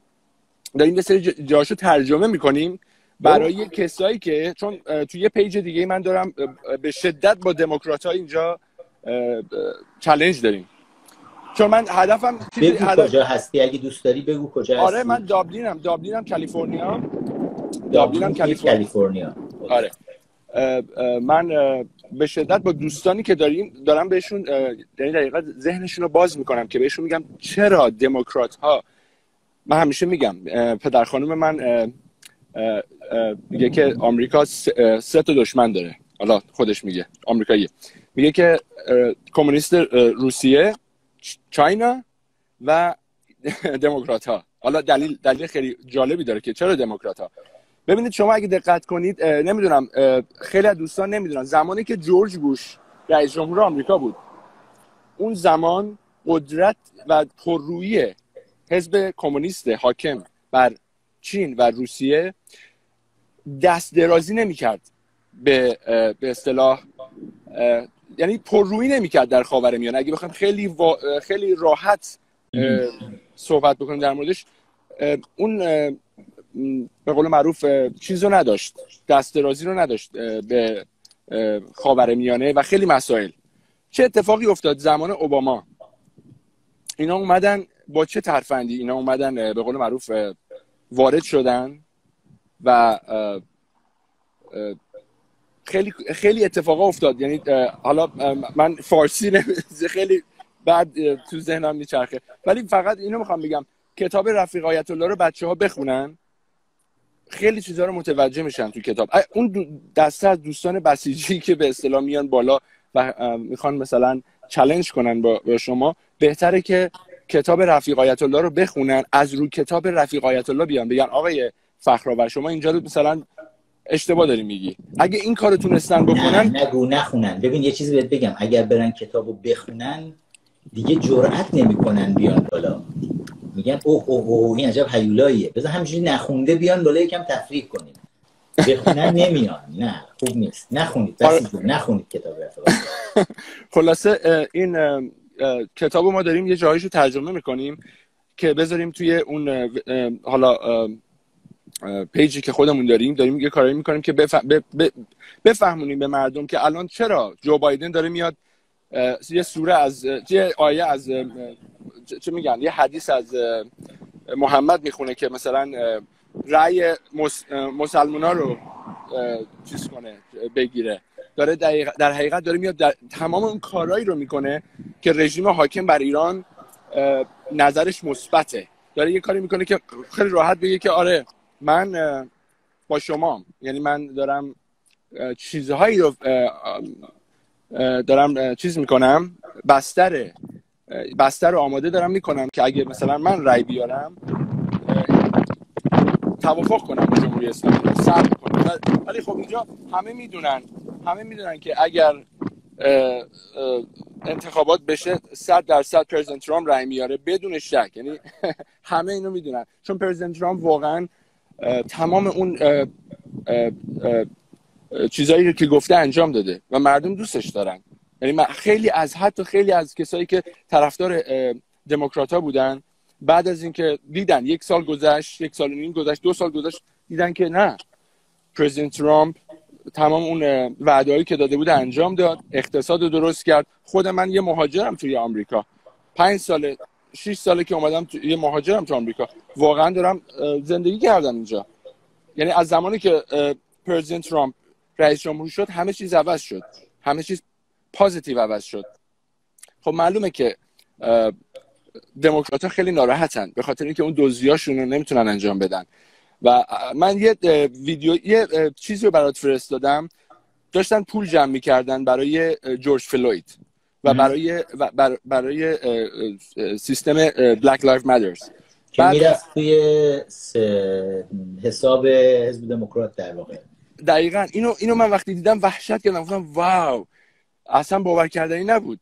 تمام این پولا end ش ending آخرش جمع می‌شد تو حساب برنی ساندرز جو بایدن هیلاری کلینتون و خیلی از اه، دموکرات. خب اینو خیلی از مردم نمی‌دونن. اینجا خودت هم می‌دونی. از نظر اطلاعات عمومی مردم آمریکا نمی‌خوام بگم ضعیفن ولی چون در رف... می‌کنن دنبال چون رف- چون در. رفاه هستن آره. چون همه چون در چیز براشون فراهمه نمیان توی سیاست میگن خب سیاست ما سپردیم به سیاست مدارا بهشون رأی میدیم برن کارشون انجام بده و مردم انقدر که جامعه ایرانی ما آلوده به سیاستن همه مردم بدون استثنا آمریکایی نیستن دنبالش نیستن زندگیشونو دارن می‌کنن عشق می‌کنن با هم دیگه به هر صورت مرسی مرسی و امیدوارم که تجربه خوبی رو از عضویت توی کنگره ملی ایرانیان داشته باشید از این صد درصد.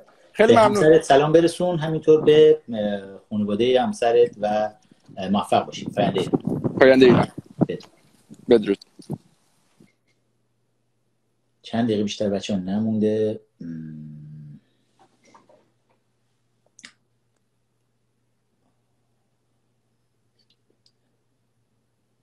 زیزی رو قول داده بودم بیاد یه چند ثانیه دیگه دوره فکر کنم همونجوری بسته بشه.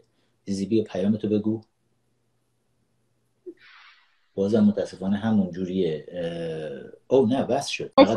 صورت نه وصل شده صورت دیده نشه فقط. صورت دیده نشه مراقب باش. خوبه؟ خوبه. خب بگو. آقای فخرآور من می‌خواستم سوالی بپرسم در مورد امروز داشتیم در مورد شا... رضا شاه صحبت می‌کردیم پسرشون. این الان جریانش واقعا چیه؟ الان چه... چرا هیچ کاری برای ایران انجام نمیدن؟ خود دستشون بازه خیلی از طرفشون هستن. چرا هیچ بیانیه شاهزاده نمیدن است؟ چرا انجام نمیدن؟ شاهزاده منظورته؟ شاهزاده رضا پهلوی؟ بله بله شاهزاده. شاهزاده داره کارهای خودشو می‌کنه. شاهزاده بیانی هاش هم داره میده کارشون. حالا ما یه سری انتقادهایی داریم به ایشون که یه وقتایی توی حمایت های حزبیش توی آمریکا اشتباه داره می‌کنه. ولی کار خودشو داره می‌کنه به من و ایشون هم گرفتاری های زیادی داره. ایشون هم دستش زیاد باز نیست برخلاف چیزی که مردم حالا داخل ایران فکر می‌کنن. دستش باز نیست. مشکلات زیادی رو باهاش مواجه هست. ولی تا اونجایی که امکانش رو داره داره سعی می‌کنه کارهای خودش رو بکنه توی مسیر مبارزه حضور داشته باشه. و یعنی بیشتر از توانشون نباید انتظار داشته باشیم ازشون. ولی واقعا زحمتشون رو دارن می‌کشن. ولی به نظر من مثل پدر بزرگش نیسته حالا مثل پدر بزرگ آدم واقعا مثل اون نیاز داریم. غیر از اینه؟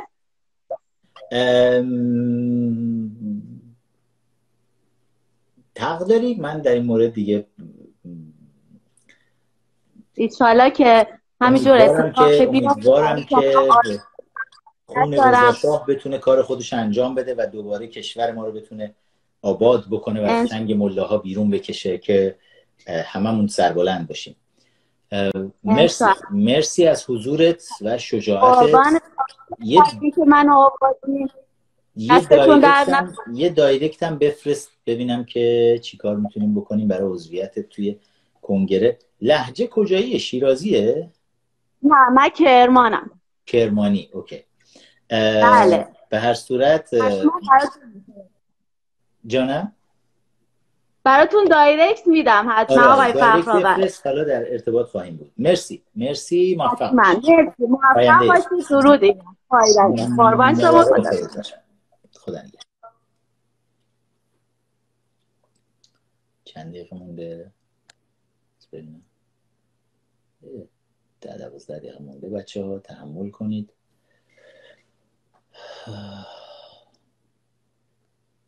چی دوست دارین بچه ها درخواستی بزنیم براتون. چی دوست دارین؟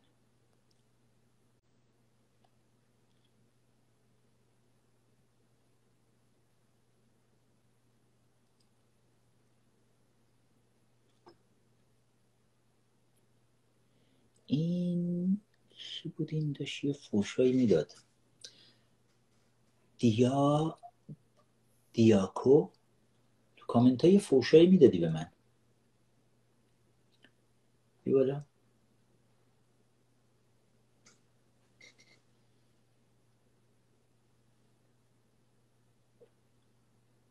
مرسی از بچه ها محبتی که دارین.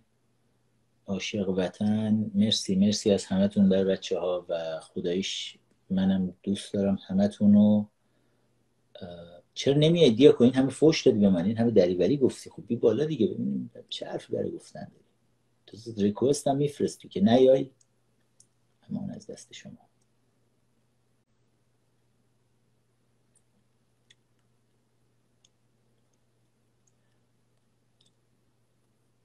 ببینم.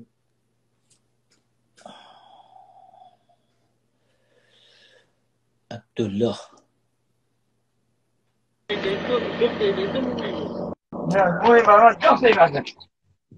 درود بر شما آقای درود. خوبی؟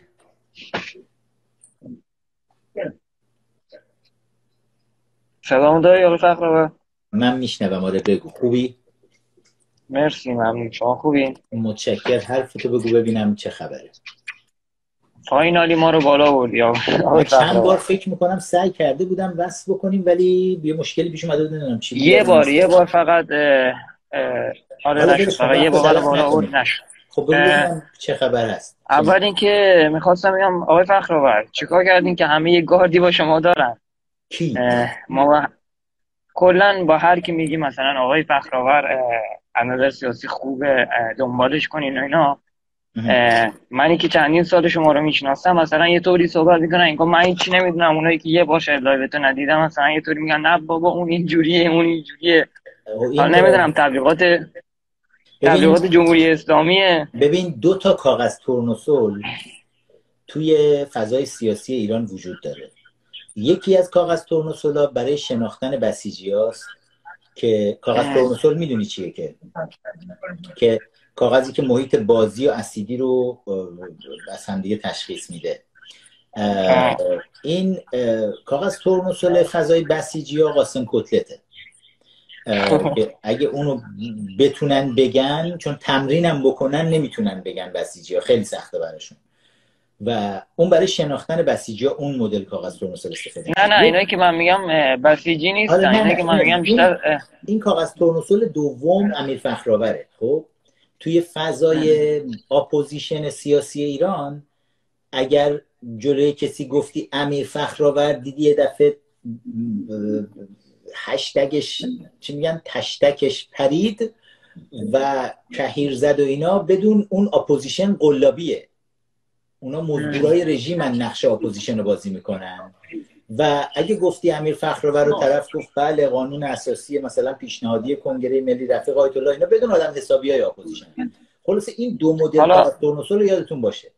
حالا آقای فخرآور من خودم یه سری حرف دارم می‌خواستم بزنم بگو حرفاتو بگو. از از جامعه آماری ایران یه جوری حرفام اه، من فکر می‌کنم با همه این که همه استدلالهای شما رو قبول دارم حرفای سیاسیتون رو قبول دارم ولی اه، ما همه فکر می‌کنیم که مثلا 90 درصد 95 درصد یا 98 درصد ایران جمهوری اسلامی رو نمی‌خواد.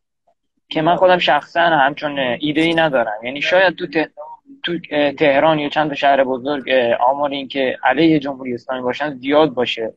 ولی خود من چون از یه روستا هستم یه روستای دور افتاده ایران هستم که البته الان چندین سال ایران نیستم. اه، اه، ولی اه، دقیقا مردم روستا و شهر کوچیک رو می‌شناسم متوجهی و می‌دونم که این مذهب با پوست و استخونشون یکی شده و نه که جمهوری اسلامی ها می‌خوان یعنی بودن این مذهبشون رو در گروه جمهوری اسلامی می‌دونن. فکر می‌کنن این به مذهبشون رب داره و اینا. و واقعا دیدم آدمایی که مثلا حاضرن برای خامنه ای جونشون رو بدن یا فکر می‌کنن واقعا جمهوری اسلامی خوبه و اینا چجوری بگم؟ من خودم ایران بودم بعد از دوستامون بذارین یه داستان بهتون بگم. از دوستامون رفتم برای تحصیل هندوستان. بعد هندوستان برای تو دانشگاه که بودیم بعد فوتبال دانشگاه بود چون ما ایرانی ها خب استعداد فوتبالمون خوب بود خب. بعد داشتیم فوتبال بازی می‌کردیم. ما سال اول اول اول دانشگاه بودیم با با پی جی ها بازی داشتیم مسابقه فوتبال بود. بعد چون ما فوتبالمون خوب شد خوب بود ما- چیز شد. ما قهرمان شدیم بعد همه دختر اندیا و اینا دور من جمع شدن و روم ریختن و من انقدر فضای ایران رو تاثیر گذاشته بود که رگ گردنم بیرون زده بود. می‌گفتم برید کنار من مسلمونم باور نمیشه آقای فخرآور. می‌خوام بگم می‌خوام بگم ما- دیگه. آره خب نه این من نیستم این من نوعی نیستم. من الان 180 درجه تغییر کردم. من الان فهمیدم. من اون سال اولی بود که رفته بودم اونجا. می‌فهمم ولی فضا- می‌کنه. یعنی این این خرافات مذهبی واقعا رسوب بدی ایجاد خب می‌کنه خب الان حرف من چیه من حرف من اینه. که حرف من اینه که الان اینجا دو هزار نفر سه هزار نفر live هستن. یه mission خیلی خیلی مهمی هممون داریم. اولین چیز اینه که آگاه سازی کنیم آگاهی کنیم. یعنی تا می‌تونیم یه نفر دو نفر چون واقعا مردم آگاه نیستن آقای فخرآور چی تصوری که ما داریم واقعا اشتباه. تا می‌تونیم آگاه سازی کنیم. یعنی من هر کی می‌تونه به نوبه خودش چون این بهترین راه و کم هزینه ترین راهه. مطمئن باشین اگه روزی میلیونی مردم آگاه آگاهیشون برسه میلیونی بیرون میاد این حکومت جمهوری اسلامی نمیمونه دیگه. هممون تو این که جمهوری اسلامی باید بره اه، تفاهم داریم دیگه. نه دقیقا دقیقا باید موافق هستم که یکی از وظایف اصلی ما توی اپوزیشن باید همین آگاه کردن مردم باشه و هرچه بیشتر این آگاهی رو ترویج کردن چون آگاهی بیشتر باعث میشه راحتتر بتونن اون رسوب خرافات رو از خودشون دور کنن و تا وقتی که مردم رسوب خرافات مذهبی که آخوندا تو کلشون کردن و تو وجودشون داشته باشن دقیقاً، فرصت. برای اینکه آخوندا بتونن سوارشون بشن برای آخوندا وجود داره. و برای حملات مستقیم به این خرافات داریم مرسی مرسی دکتر عبدالله خواهش- عزیز موفق خواهش باشی می‌کنم. اه، و حالا توی یه دایرکت هم بفرست. الان کدوم کشور هستی؟ می‌تونی بگی؟ من الان اماراتم. امارات. یه دایرکت حالا مسیج بفرست ببینم چجوری اگه بتونی حتما، برای. همکاری با کنگره هم. داشته باشیم. حتما. خوشحال شدم. مرسی. پاینده چند دقیقه مونده بچه ها پنج دقیقه. پنج دقیقه. یه چیزی می‌خواستم دربارش یه دونه از این ویدیوهای یه دقیقه‌ای بذارم بالا اه، درباره چی بود خدایا. آها هواوی. هواوی و این 5G اه، یادم بندازید من بعد از لایو یه ویدیو یه دقیقه‌ای بذارم بالا. درود.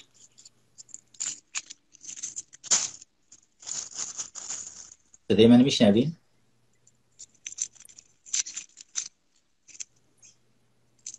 صدای منو میشنوین؟ ما صدای تایپ کردن میشنویم. الو. دیگه دیر گفتن الو رو تا بیان بگن و از اسم خانوم هم استفاده کرده بودن آقا بودن. خب بچه بذارید من live رو ببندم. و مرسی از اینکه همراه بودید. ببینم اگر از خانوم ها کسی باشه بیاد برای حسن ختام برنامه.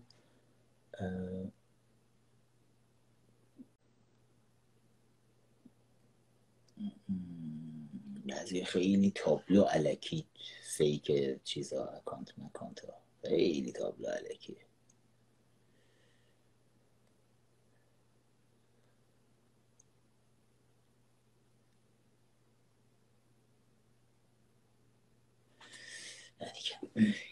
به یزدان پاک میسپارمتون. مرسی از اینکه همراه بودید. تا این موقع نیمه شب الان ساعت دیگه توی ایران هست. دو نیم نیمه شبه. بابا برید بخوابید. کار زیاد داریم. به یزدان پاک میسپارمتون پاینده ایران و بدرود.